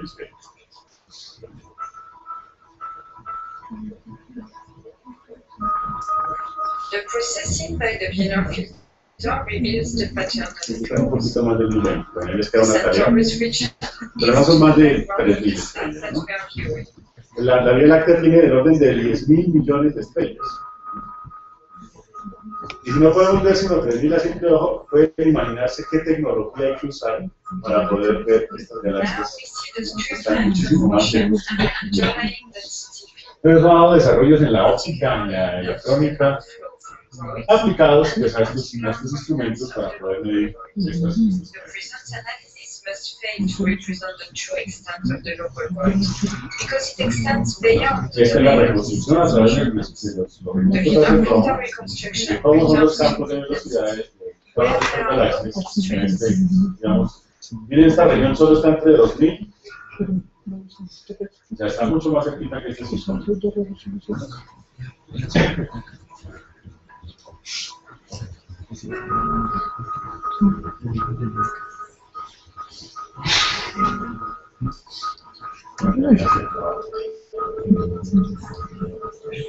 Es interesante. Esa sería la visión que uno tiene si empieza a viajar por solo, solo el orden de 66 megaparsecs. De cómo están distribuidas las galaxias en nuestra, en nuestra vecindad, en nuestra vecindad. Este video es libre y es realmente creo que la tesis de doctorado de, la muchacha que está hablando allí de cómo es esta distribución. Esto hace 100 años pues era inimaginable tenerlo. Son datos reales. No, no, es nada, nada inventado. Entonces, sí, ya hacen dos minuticos más para mirar ahora. Esto es lo que hace mucho la gente que hace las observaciones. Y ahora, este es el video de la gente que se dedica a resolver este conjunto de ecuaciones para ver, miren ahora que aquí la escala es muchísimo más grande, es un gigaparsec, 10 a la 9 parsec sobre h. Y nos vamos acercando y dejamos evolucionar el tiempo cosmológico y empezamos a ver cómo se va acumulando la materia en estos nodos, digámoslo acá, para empezar a dar origen a estos de galaxias. Esa es una solución de estas ecuaciones diferenciales, de estas ecuaciones de campo, aplicada, si ustedes lo ven aquí al principio, ahorita podemos leer cuál es ese número, pero son millones de partículas en interacción gravitacional, dando origen a estas estructuras. Ahora hay una cosa muy curiosa, que aquí hay más o menos una, dos, tres ramas fundamentales que salen de cada nodo. Esas ramas las predijo un señor muy inteligente, que era eh, Seldovich, y las, las reprodujo en un papel. Es decir, esto que ahora se demoraban meses corriendo una simulación, muchas de las características, digamos, como solución, las conocían en los años 70 sin solucionar una sola ecuación en un computador, solucionando estas ecuaciones a mano. Pero para poderlas solucionar a mano, hay que, hacer, hay que ser suficientemente capaz matemáticamente para reducir el problema. Miren, ustedes pueden ver cuántos millones de partículas hay. Estas son las que se colocan a evolucionar en la gravedad a través de estas ecuaciones diferenciales para poder solucionar, solucionar eso. Pues si quieren, presentación. si quieren ver. Este ya es un poco cómo evoluciona el gas en esas galaxias. Y entonces, si hiciéramos una torta acá, una torta acá. Entonces, ustedes ven ese gas. Y entonces, ¿cuál es el contenido de qué está hecho el universo? Está hecho el universo. Entonces, hoy en día haríamos un pastel donde el 4% de las constituyentes son lo que llamamos materia bariónica, llamémoslo protones, neutrones, electrones o los que sienten las interacciones fundamentales en el modelo estándar. Hay otro 25%, más o menos, la llamamos materia oscura, que solo tenemos el nombre y algunas de sus propiedades fundamentales, por ejemplo, las curvas de rotación galácticas. En las curvas de rotación galácticas, uno espera que si la, ley, la, la gravedad es newtoniana, y va como 1 sobre r cuadrado, entre más alejada esté la estrella, o eso pasa en los planetas, Mercurio gira muy rápido, mientras que Plutón ya gira mucho más despacio alrededor del Sol. Uno esperaría que las estrellas en las galaxias le pasara lo mismo. Pero resulta que las curvas de rotación, si tenemos aquí una galaxia espiral, y la miramos, su curva de rotación es bien, bien simpática. Le quitamos la velocidad sistémica, empieza como un cuerpo rígido hasta cierto punto, y en cambio de caer con el cuadrado de la distancia, como debía caer en el régimen kepleriano, se mantiene constante. Y esta diferencia está explicada por una componente que no vemos que llamamos la famosa materia oscura. Y hay un 70%, que llamamos ahora en el modelo estándar energía oscura, que no tenemos ni idea qué es. Puede ser constante cosmológica, pueden ser campos escalares, pueden ser dimensiones extra, pueden ser un montón de, nuevas, de nueva física ah, abierta, abierta. Entonces, si ustedes se fijan, no conocemos sino más o menos el 4% y ya se está completando, por ejemplo, con el modelo estándar y el famoso descubrimiento de Higgs. Tenemos un 95% de física que no conocemos, o sea que esto da más o menos un, poquito de trabajo a la gente que quiera trabajar en, estas, estos campos. Ustedes ven acá, este ya es el zoom, y miren este Z, este Z me dice es cuánto hacia atrás en el tiempo estamos mirando en ese cono cosmológico, en esa campana que les mostraba, y cómo actúa la gravedad, formando este famoso cúmulo de galaxias. Y ustedes ven aquí densidad de materia oscura, o sea, todo lo que hay acá no sería materia iluminada, no, no emite radiación electromagnética, sino esas son esas partículas de materia oscura que son la componente principal de todas las estructuras. Es decir, si hoy vemos nuestros 10 mil millones de soles en la galaxia, no son más que un 4 o 5% de la masa que tiene nuestra galaxia. El otro 90 y pico por ciento tiene que estar en esa materia. Materia. Entonces, es un reto para la física, la astronomía, para todos nosotros tratar de explicar un poco qué es famosa oscura. Muy bien, vamos a ir rápido sobre estas. Este, este es aquí un poco desde que estaba constituido el universo a muy al principio, cuando la temperatura es muy alta, ¿no? y cómo ha sido la formación de elementos químicos. Pero otra de las cosas interesantes es que lo predijo también este señor Gamow, es la teoría de nucleosíntesis primordial, y es que el elemento bariónico, es decir, constituido por estos que sienten esas interacciones electromagnéticas débil y fuerte, el elemento más abundante en la naturaleza es el hidrógeno. Después viene ¿no? con un 25% el helio. Y del universo solo pudo sintetizar en su expansión hasta más o menos el litio 7. Cualquier elemento más pesado que él fue sintetizado en las estrellas. Entonces, la formación estelar juega un papel muy importante en la síntesis de elementos químicos. Y hay pues problemas, por ejemplo, con el hierro, nuestro, Sol, estrellas de ese tipo no pudieron sintetizar hierro. Entonces, elementos más pesados que el hierro, el oro, todos esos que conocemos, deben venir de episodios más violentos, por ejemplo, con las famosas supernovas. Entonces, esas galaxias y esas estrellas van a ser, digamos, las cocinas naturales para poder, para poder hacer los elementos químicos.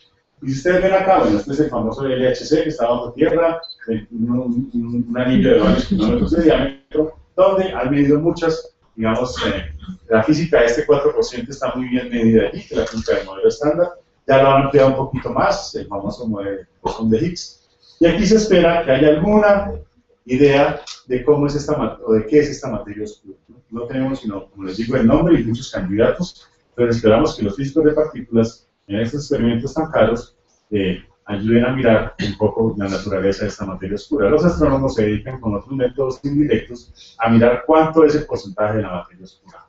Bueno, esta energía oscura, pues tenemos menos esperanza todavía, pero posiblemente, en cuanto algunos de ustedes en el futuro se inventen una teoría para, para ir un poco más adelante con eso. Entonces, bueno, esto era, eh, eso es observacionalmente ya no solo, solo 60 megaparsecs, sino muchísimos más. Pero lo interesante aquí es que muchos de esos rizos, muchas de esa física la podemos ver en estas estructuras. Yo solo quiero nombrar acá, ya para ya casi terminar, es cómo nos damos cuenta, por ejemplo, este es un cúmulo de galaxias donde tiene de cientos a miles de galaxias. ¿no? Una galaxia de estas es una galaxia típica como la de nosotros, es decir, 10 mil millones de soles. ¿Cómo sabemos que hay más masa que la que podemos medir con la luminosidad? Entonces hay una relación, los astrónomos se dedican mucho a mirar la relación entre la masa y la luminosidad. ¿Qué, tan luminoso es un objeto y qué nos puede decir esa luminosidad acerca de su masa? Eso en las estrellas está muy bien calibrado, es decir, la relación masa-luminosidad. Y si nosotros medimos dos cosas particulares en este, este cúmulo de galaxias, tenemos, este es el Abel 28, 22, 18, que era de los que quedan acá cerquita, aquí cerquita de nosotros. Cuando medimos la luminosidad, y hacemos la relación masa-luminosidad, y medimos la velocidad de dispersión de, de las galaxias, es decir, qué tan rápido se mueven dentro de ese cúmulo, lo que podemos concluir es que esas galaxias no deberían estar formando una estructura acotada. ¿Qué quiere decir eso? Que esas galaxias se mueven muy rápido y simplemente pasarían una respecto a la otra y se difuminaría ese cúmulo. La pregunta es quién mantiene unido ese cúmulo y qué tanta masa le hace falta. Entonces, de esa masa que vemos luminosa, no es, como les digo, más allá del 5% de la masa total que mantiene ese cúmulo. El otro 95% es esa famosa materia oscura. ¿Cómo la medimos? Entonces, miren unas cosas interesantes que hay acá, miren este arco que está acá, miren, acá hay otra imagen, miren este otro arco que hay acá. Todo esto, no es que la cámara esté maluca ni, ni que nada se ha ido a tomar la observación. Esto es un fenómeno muy lindo que se llama lente gravitacional, es decir, el potencial gravitacional de este cúmulo de galaxias ha desviado la luz y una galaxia que está por detrás de este cúmulo, que debía ser así redondita, la luz se ha ido por el efecto digamos, del campo gravitacional de este cúmulo y ha formado estas imágenes. Y a partir de esas imágenes uno puede reconstruir, es decir, es una balanza natural para mirar cuánta masa hay en este cúmulo. Y así podemos calibrar que falta en materia luminosa un 90% de la masa. Entonces, si invitan a mi estudiante del rollo, entonces él les cuenta un poco más cómo se usan esas... ¿Cómo se distorsionan las ballenas? Cómo se distorsionan las ballenas y ese tipo de cosas. Muy bien. Entonces, a los que les gusta la tecnología, toda la ingeniería está colocada aquí, la ingeniería con el servicio de la ciencia. Cualquier traductor, cualquier elemento como el CCD, el de las cámaras, todo eso nacieron en estas aplicaciones de astronomía y física.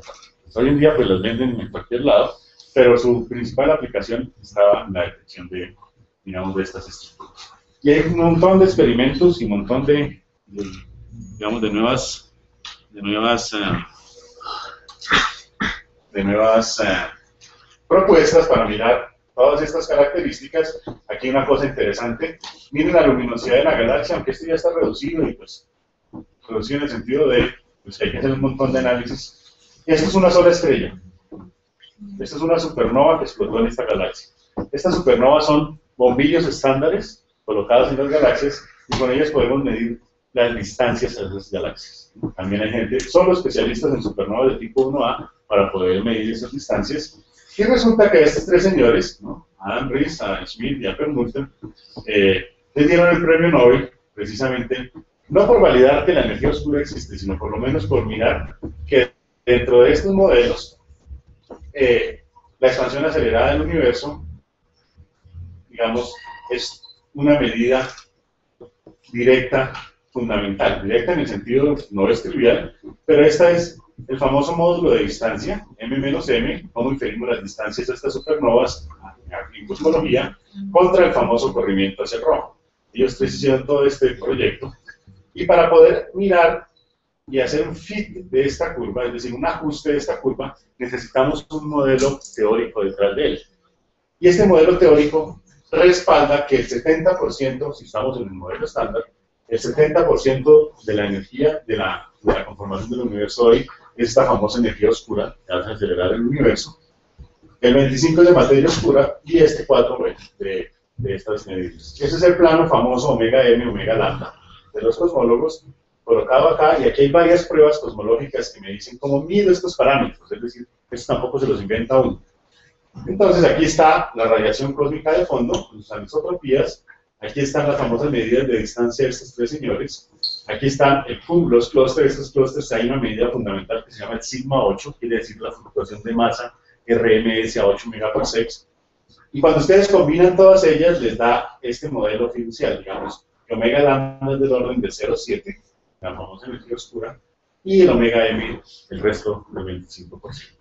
Es decir, esta cosmología pasó de ser solo las soluciones matemáticas complicadas, la mente de los, la relatividad general hacia los años 60-70, la hacían sobre todo los matemáticos. Es una delicia para los matemáticos porque es geometría diferencial, topología, ecuaciones parciales, análisis, todo está metido allí. Es decir, la relatividad general es de las, de las, de la panacea en matemáticas aplicadas, puras aplicadas para los matemáticos. Pero también ya los físicos se fueron metiendo y hoy en día ese modelo está validado por todo este conjunto de observaciones. Sin embargo, pues todavía nos falta entender qué es ese 95% y si realmente el modelo es ese o tenemos alternativas. Por ejemplo, con otro de mis alumnos, ya en la Universidad Nacional, es posible explicar este 70% sin necesidad de acudir a ninguna forma extraña de energía, sino cambiando las ecuaciones de este lado izquierdo, es decir, que sea un efecto geométrico. Son estas teorías extendidas de gravedad, ya no la relatividad de Einstein, sino extender modelos más allá de la relatividad de Einstein para poder explicar este tipo de teorías. Como ustedes pueden ver, trabajo en cosmología es lo que hay. Si ustedes se quieren dedicar a la parte observacional, a la parte de hacer simulaciones numéricas para mirar cómo se forman las galaxias, o a la parte teórica tenemos todavía mucho que explicar. Aquí hay una extrapolación o extrapolaciones muy grandes. La física que conocemos sirve más o menos en 10 a la menos 43 segundos después del Big Bang hasta ahora.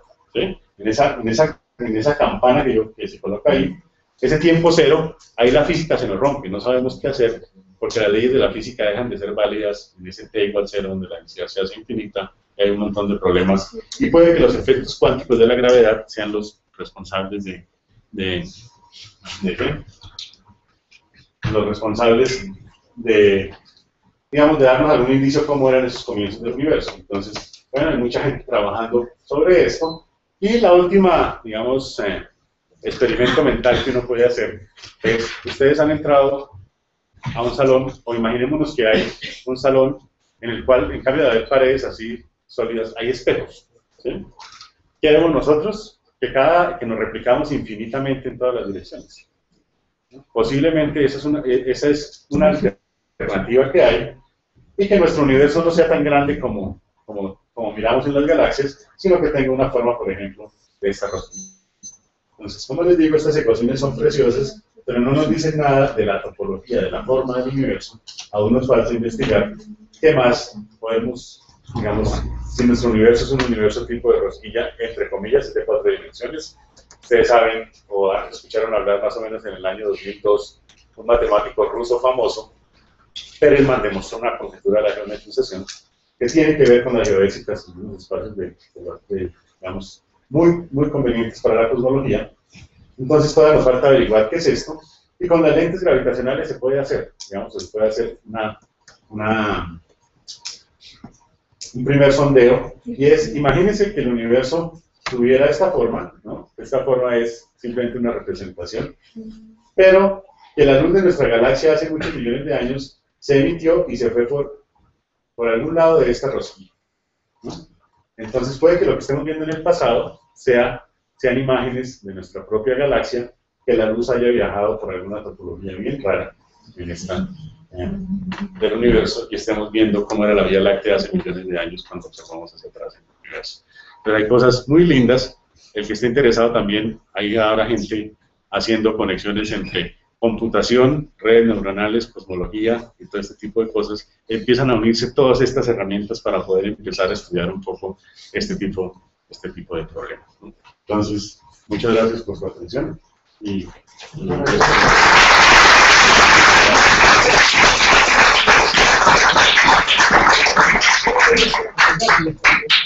Por ejemplo, aquí quiere, esto es uno de los resultados que obtuvimos con un estudiante, con, Javier Ochoa, y es una posibilidad de explicar cómo evolucionan los campos magnéticos en el universo.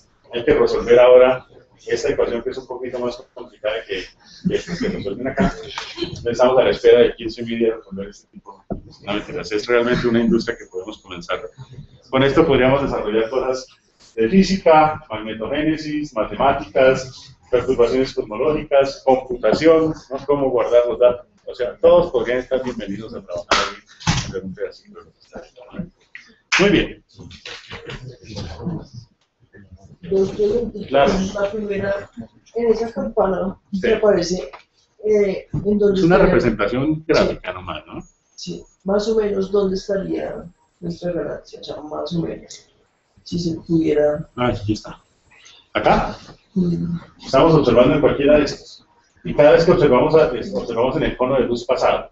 Y ese Z que aparece ahí, ese corrimiento hacia el rojo, entonces me dice que si, si- si las rayas están corridas, imaginen que usted tiene un espectro. eh, un espectro es, cuando usted toma el espectrógrafo, por ejemplo, y ve la línea del hidrógeno, entonces empieza usted a ver, como en el Sol, una línea tiene algo continuo, que es el gas caliente que está emitiendo, pero tiene unas líneas negras. Esas líneas negras son absorciones. Entonces, en el sol uno sabe que hay sodio y toda esa cosa por la posición en el fotograma, es decir, aquí está lambda, y aquí está la intensidad. Dependiendo de dónde esté, uno sabe el elemento químico. Pero este mismo elemento químico, en cosmología, se va corriendo hacia el rojo si estamos en expansión. Y usted, la longitud de onda que recibe está dada por 1 más z al remitido. ¿Qué quiere decir eso? Supongamos que z es de 1100 en el momento que se desacopló la radiación de fondo. Y una longitud de onda del amarillo, unos, o bueno, unos 5000 nanómetros. ¿eh? ¿Cuán- ¿En qué longitud de onda? Allá se emitió en 5000. Imagínense en qué longitud de onda la va a recibir. En 1100 por 5000. O sea, estaba mucho más corrida. O sea, con ese corrimiento uno puede medir ese Z que está allí. Y ese Z me da una medida dire- indirecta de esta escala de tiempo. Entonces hoy estamos acá en Z igual 0. Ese Z que estábamos viendo en, el, en el famoso diagrama este en el, en el video, no es más que un Z, agarre 5000, ¿sí? Y divídalo, divídalo 5000 entre 300.000. Entonces 5 sobre 1 sobre 1 sobre 60. ¿sí? Ese es el Z que estamos, estamos aquí muy cerquita, mire. En la etapa en la edad cosmológica estamos aquí nomás.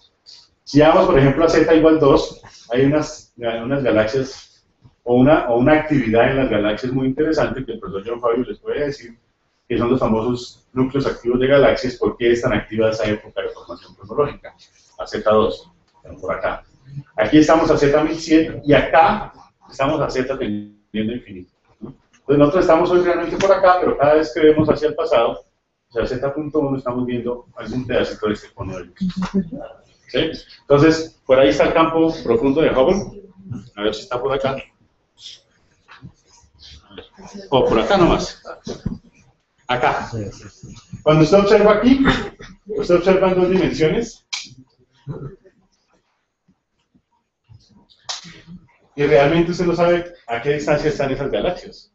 Aquí usted está viendo un fotograma de, gran parte de esa campana y le toca a usted empezar a medir el corrimiento del rojo de cada una de ellas para mirar en esa campana dónde están.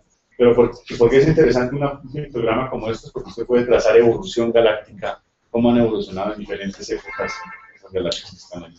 Solo con esta observación, por ejemplo. Listo, y la otra pregunta era, digamos, si hay una forma o, o se puede saber o no que de tantas galaxias, digamos, en cuáles puede haber vida como lo hay. No, o sea, sí, no, no, no sé. No sé. Ahora hay nuevas, digamos, eh, ramas, astrobiología, y, y hay gente que se dedica a mirar cosas serias, ¿no? Porque pues, venir a hablar pendejadas, pues no queda eso. Pero hay gente seria dedicada a mirar espectros, ¿no? Primero, planetas extrasolares, es decir, casi todas las estrellas presentaban discos donde se formaron planetas, y esos planetas qué condiciones tienen. Todo se tiene, se tiene que ayudar a través del espectro. Entonces, en ese espectro hacen en radio y en longitudes de onda grandes mirar si, por ejemplo, hay moléculas complicadas allí que absorban cierta radiación. Si hay moléculas, es decir, dependiendo de la línea donde esté, usted puede decir, ah, hay metanol. El medio interestelar está lleno de todas las moléculas que usted se puede imaginar. Si usted quiere saber de moléculas en el medio entre las estrellas, porque la evolución química de las galaxias ha producido metanol, todos los alcoholes, todas las cadenas largas de carbones están metidas allá. Pues allá se puede mirar. Entonces, si la espectroscopía avanza suficiente para medir esos espectros desde allá, posiblemente podamos decir algo sobre habitabilidad, hoy en día hay un montón de gente haciendo tratando de hacer cosas con respecto a habitabilidad, pero de vida yo no. Eh, el electro que no hace la formación del universo existen muchos objetos cosmológicos exóticos, uno de ellos son los pulsar. ¿Qué papel tiene el pulsar en torno a la, o, por ejemplo, la formación de las galaxias? ¿Cumple un papel fundamental? Eh, sí, digamos, sí, no, en este sentido. Los pulsares, ¿no? Son objetos que están emitiendo radiación electromagnética con cierta, una periodicidad bastante bien establecida. Entonces la pregunta es de dónde viene, o sea, ¿qué modelo hace que usted vea un famoso pulsar? Entonces hay varios modelos de pulsares. Entonces, esos modelos sirven, por ejemplo, a ver cosas interesantes. Resulta, resulta que cuando, vamos a hacer un ejemplo clásico nomás, un electrón está dando vueltas acá alrededor de, en esta, en esta región, él emite radiación electromagnética. Y cuando está a velocidades muy cercanas a la de la luz, ¿no? Entonces él emite y uno vería ondas esféricas aquí saliendo. Pero si este electrón está moviendo muy rápido, por efectos relativistas, esta esfera se convierte en unos conos de luz. Dependiendo de qué tan rápido vaya, esta apertura depende de qué tan rápido vaya. Esta radiación se llama radiación de síncrotron, es decir, de cosas moviéndose, por ejemplo, en campos magnéticos. Y entonces, si usted está acá, usted no va a poder ver si esto va acelerado muy rápidamente, entonces solo va a poder ver cuando la radiación esté en este cono de luz. Aquí ya no la va a poder ver, el cono, el cono ya se le salió de su visión y solo lo vuelve a ver acá, solo lo vuelve a ver acá. Entonces, ¿qué quiere decir eso? Usted recibe un pulso de luz, tiene que esperar que esto dé vuelta y recibe otro pulso de luz, cuando va acá recibe otro pulso de luz y así sucesivamente. ¿sí? Entonces, estos fenómenos le sirven a uno para estudiar, por ejemplo, la actividad en los núcleos, de galaxias, donde se supone que hay campos magnéticos muy fuertes y que esta materia está cayendo en ese campo magnético y por efectos de la gravedad y está, digamos, emitiendo radiación electromagnética. Entonces, todo eso que pasa, quasar es quasi-stellar object, todos esos hacen parte de la formación de las galaxias. Y esto, realmente todos estos fenómenos me dicen, por ejemplo, el campo magnético y esta gravedad fuerte, qué papel han jugado dentro de la evolución de galaxias. Entonces, por eso, medir estos púlsares es bastante interesante, por eso se nos da toda esta física, campos magnéticos, qué tan fuerte es la gravedad. Por ejemplo, hay cosas interesantes, si yo Fabio les puedo hablar de esto, pero hay galaxias que tienen jets, ¿no? Y esos jets no sabemos hoy en día qué impulsa ese material que sale de, de los planos galácticos. Posiblemente sea estos campos magnéticos que se entorchan y cogen el plasma y lo aceleran. Y en esa aceleración hay cargas aceleradas y esa le emiten a usted radiación. Y esa radiación es la que usted mide con ciertos, con ciertos periodos. ¿no? Hay otros tipos de pulsares, por ejemplo, las estrellas de neutrones. ¿no? El fenómeno es parecido, ¿no? son campos magnéticos intensos y partículas emitiendo radiación. Entonces, si está a nivel galáctico, tiene, por ejemplo, toda esta fenomenología de los jets, y el plasma saliendo de las galaxias. Lástima que no tenga ninguna de esas, pero muchas galaxias presentan chorros, ¿no? Que están saliendo del centro galáctico. Entonces, eso es importante para trazar la evolución galáctica. ¿Por qué se ha apagado, por ejemplo, de Z igual 2, en esa campana cosmológica, a hoy en día, porque no vemos tantos núcleos activos más cercanos a nosotros? Pero hay otros pulsares, ¿no? Que tienen que ver también con estos fenómenos, y es, por ejemplo, una estrella de neutrones en el cual el campo magnético es muy fuerte y es como un imán permanente. Y allá también se aceleran partículas y nos mandan esos pulsos de radiación. Entonces eso nos permite estudiar, por ejemplo, cómo ha sido la evolución estelar y qué, qué tipo de materia o qué tipo de estrellas van a llegar a ser ese tipo de pulsares. Entonces, dependiendo de donde usted esté estudiando la escala de energía, esto le va a dar a trazar la evolución galáctica. Sí. Tengo entendido que los agujeros negros, como el del espacio. O... No, mire, entonces, hay varias cosas. El agujero, el agujero negro, como tal, su solución es la primera solución esféricamente simétrica exacta. Lo curioso, no es por decir en palabras, lo curioso es que Schwarzschild, dos meses después de que Einstein hizo sus, hizo sus ecuaciones, que creyó que nadie las iba a solucionar, Schwarzschild le mandó una solución exacta que con el tiempo Wheeler y mucha gente la nombró como si fuera el famoso agujero negro. El famoso agujero negro tiene muchas características en el sentido matemático, tiene un horizonte de eventos, es decir, que si hay un agujero negro donde usted está, cuando estamos los dos acá, y se manda, se, lo mandamos a usted hacia el agujero negro, yo nunca, por ejemplo, voy a ver que usted cruce algo que se llama el horizonte de sucesos. Usted puede estar diciendo así, lo que yo voy a ver cada vez más es que usted empieza a hacerlo más lentamente así, porque el tiempo y la, básicamente el tiempo depende de donde usted esté cerca de Entonces es una solución matemática, esféricamente simétrica. Hoy en día es muy controversial en el sentido de que la producen. Hay un montón de, de cosas en la cabeza, una masa esférica, eso no tiene nada que ver con eso todavía. O sea, otra cosa es que es la fuente de momento de energía que tiene ese agujero negro. Curiosamente, y no tengo aquí el video, pero cuando yo estaba allá en, Alemania, en Bonn, en el centro galáctico se ve que hay unas estrellas donde eh, en el centro aparentemente no hay nada y empiezan y llegan y algo las desvía fuertemente. Entonces posiblemente sea una de las primeras evidencias. Tiene que haber 10 a las 6 masas solares en una región minúscula del centro galáctico. Posiblemente la física que ya ha llevado a eso, esos objetos, hay algo que se llama el colapso gravitacional. Inclusive Hawking ha estudiado la evolución del universo como si fuera un anticolapso. Nosotros podemos que estamos viviendo en un agujero negro. ¿Por qué? Porque simplemente nosotros, dependiendo de nuestra gravedad, podemos mandar ondas luminosas y en la, física newtoniana clásica, por más que vaya un metro por segundo, esperamos eternamente, la luz va a llegar o la pepita va a llegar a donde nosotros esperamos. Aquí mandamos una onda y dependiendo de nuestra gravedad puede que este horizonte de acá, este horizonte de acá, haga como, es decir, usted quiere comunicarse con alguien de acá, la novia está allá. Entonces, clásicamente usted manda la señal y espera el tiempo que sea necesario para que llegue. Pero en la expansión del universo puede que la onda nunca llegue hasta allá, por más que el universo sea eterno, porque la propagación depende de la gravedad. Entonces, esa solución de tipo agujero negro tiene ese tipo de cosas, tiene un horizonte de eventos, tiene una singularidad fundamental, ¿no? Allá, es decir, que no se puede remover matemáticamente. Y así como, como cuando usted hace eh, el primer ejercicio de cálculo, de, de, cálculo en las funciones. Usted tiene la función en x más 2 sobre x cuadrado menos 4. Usted dice, en x igual a 2, ¿cuánto vale eso? Usted reemplaza directamente le da de la forma 4 sobre 0. Entonces no tiene ningún sentido. Pero la gente dice, ah, no, factoricemos x más 2, aquí x menos 2, x más 2, tachan, tachan el, el, el, x menos 2 arriba y abajo, y les da que ahora un cuarto. Entonces uno dice, extendió analíticamente esa función. Cuando x vale 2, eso vale un cuarto. Así se puede hacer con las soluciones de la relatividad general. Uno puede extender las soluciones de agujero negro hacia lo que llama agujero blanco.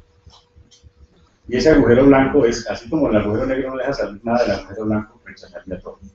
Y otro tipo de soluciones son los famosos agujeros de gusano. Y esos agujeros de gusano, tardemente, tarde, ¿no?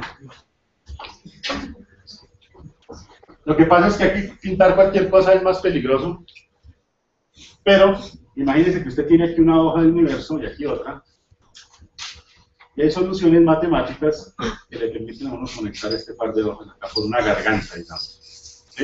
Ahora la geometría sería con esta garganta que está acá.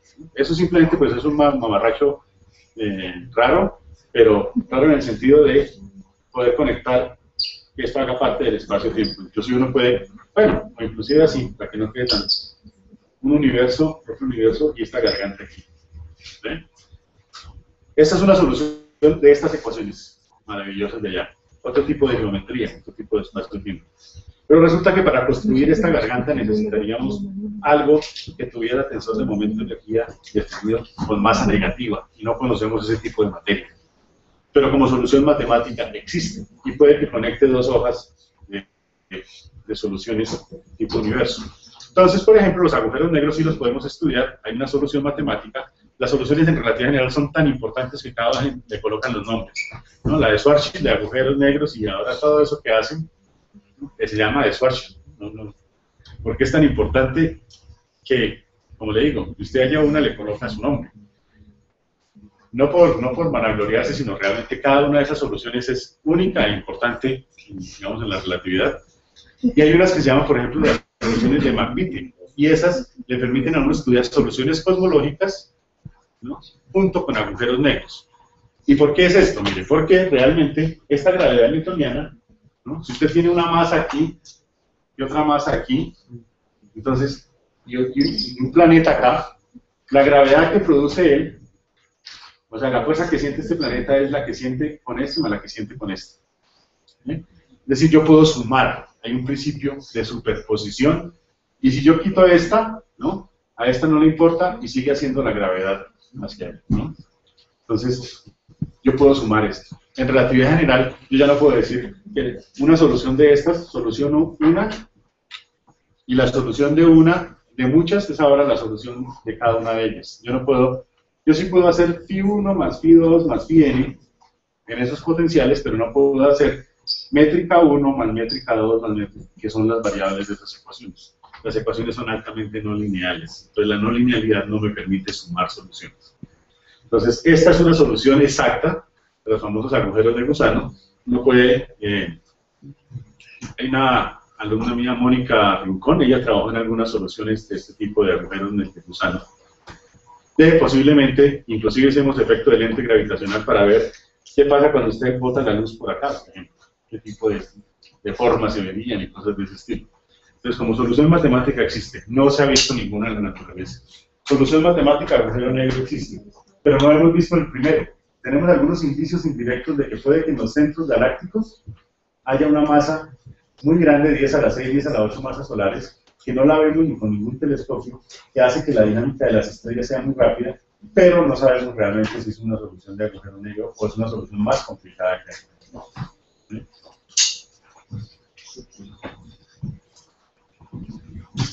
Oh, Bueno, pues muchas gracias a todos. Gracias por escucharnos. No, en 20 días nos vemos con la charla del cometa y solamente el profesor de Asia. ¿verdad?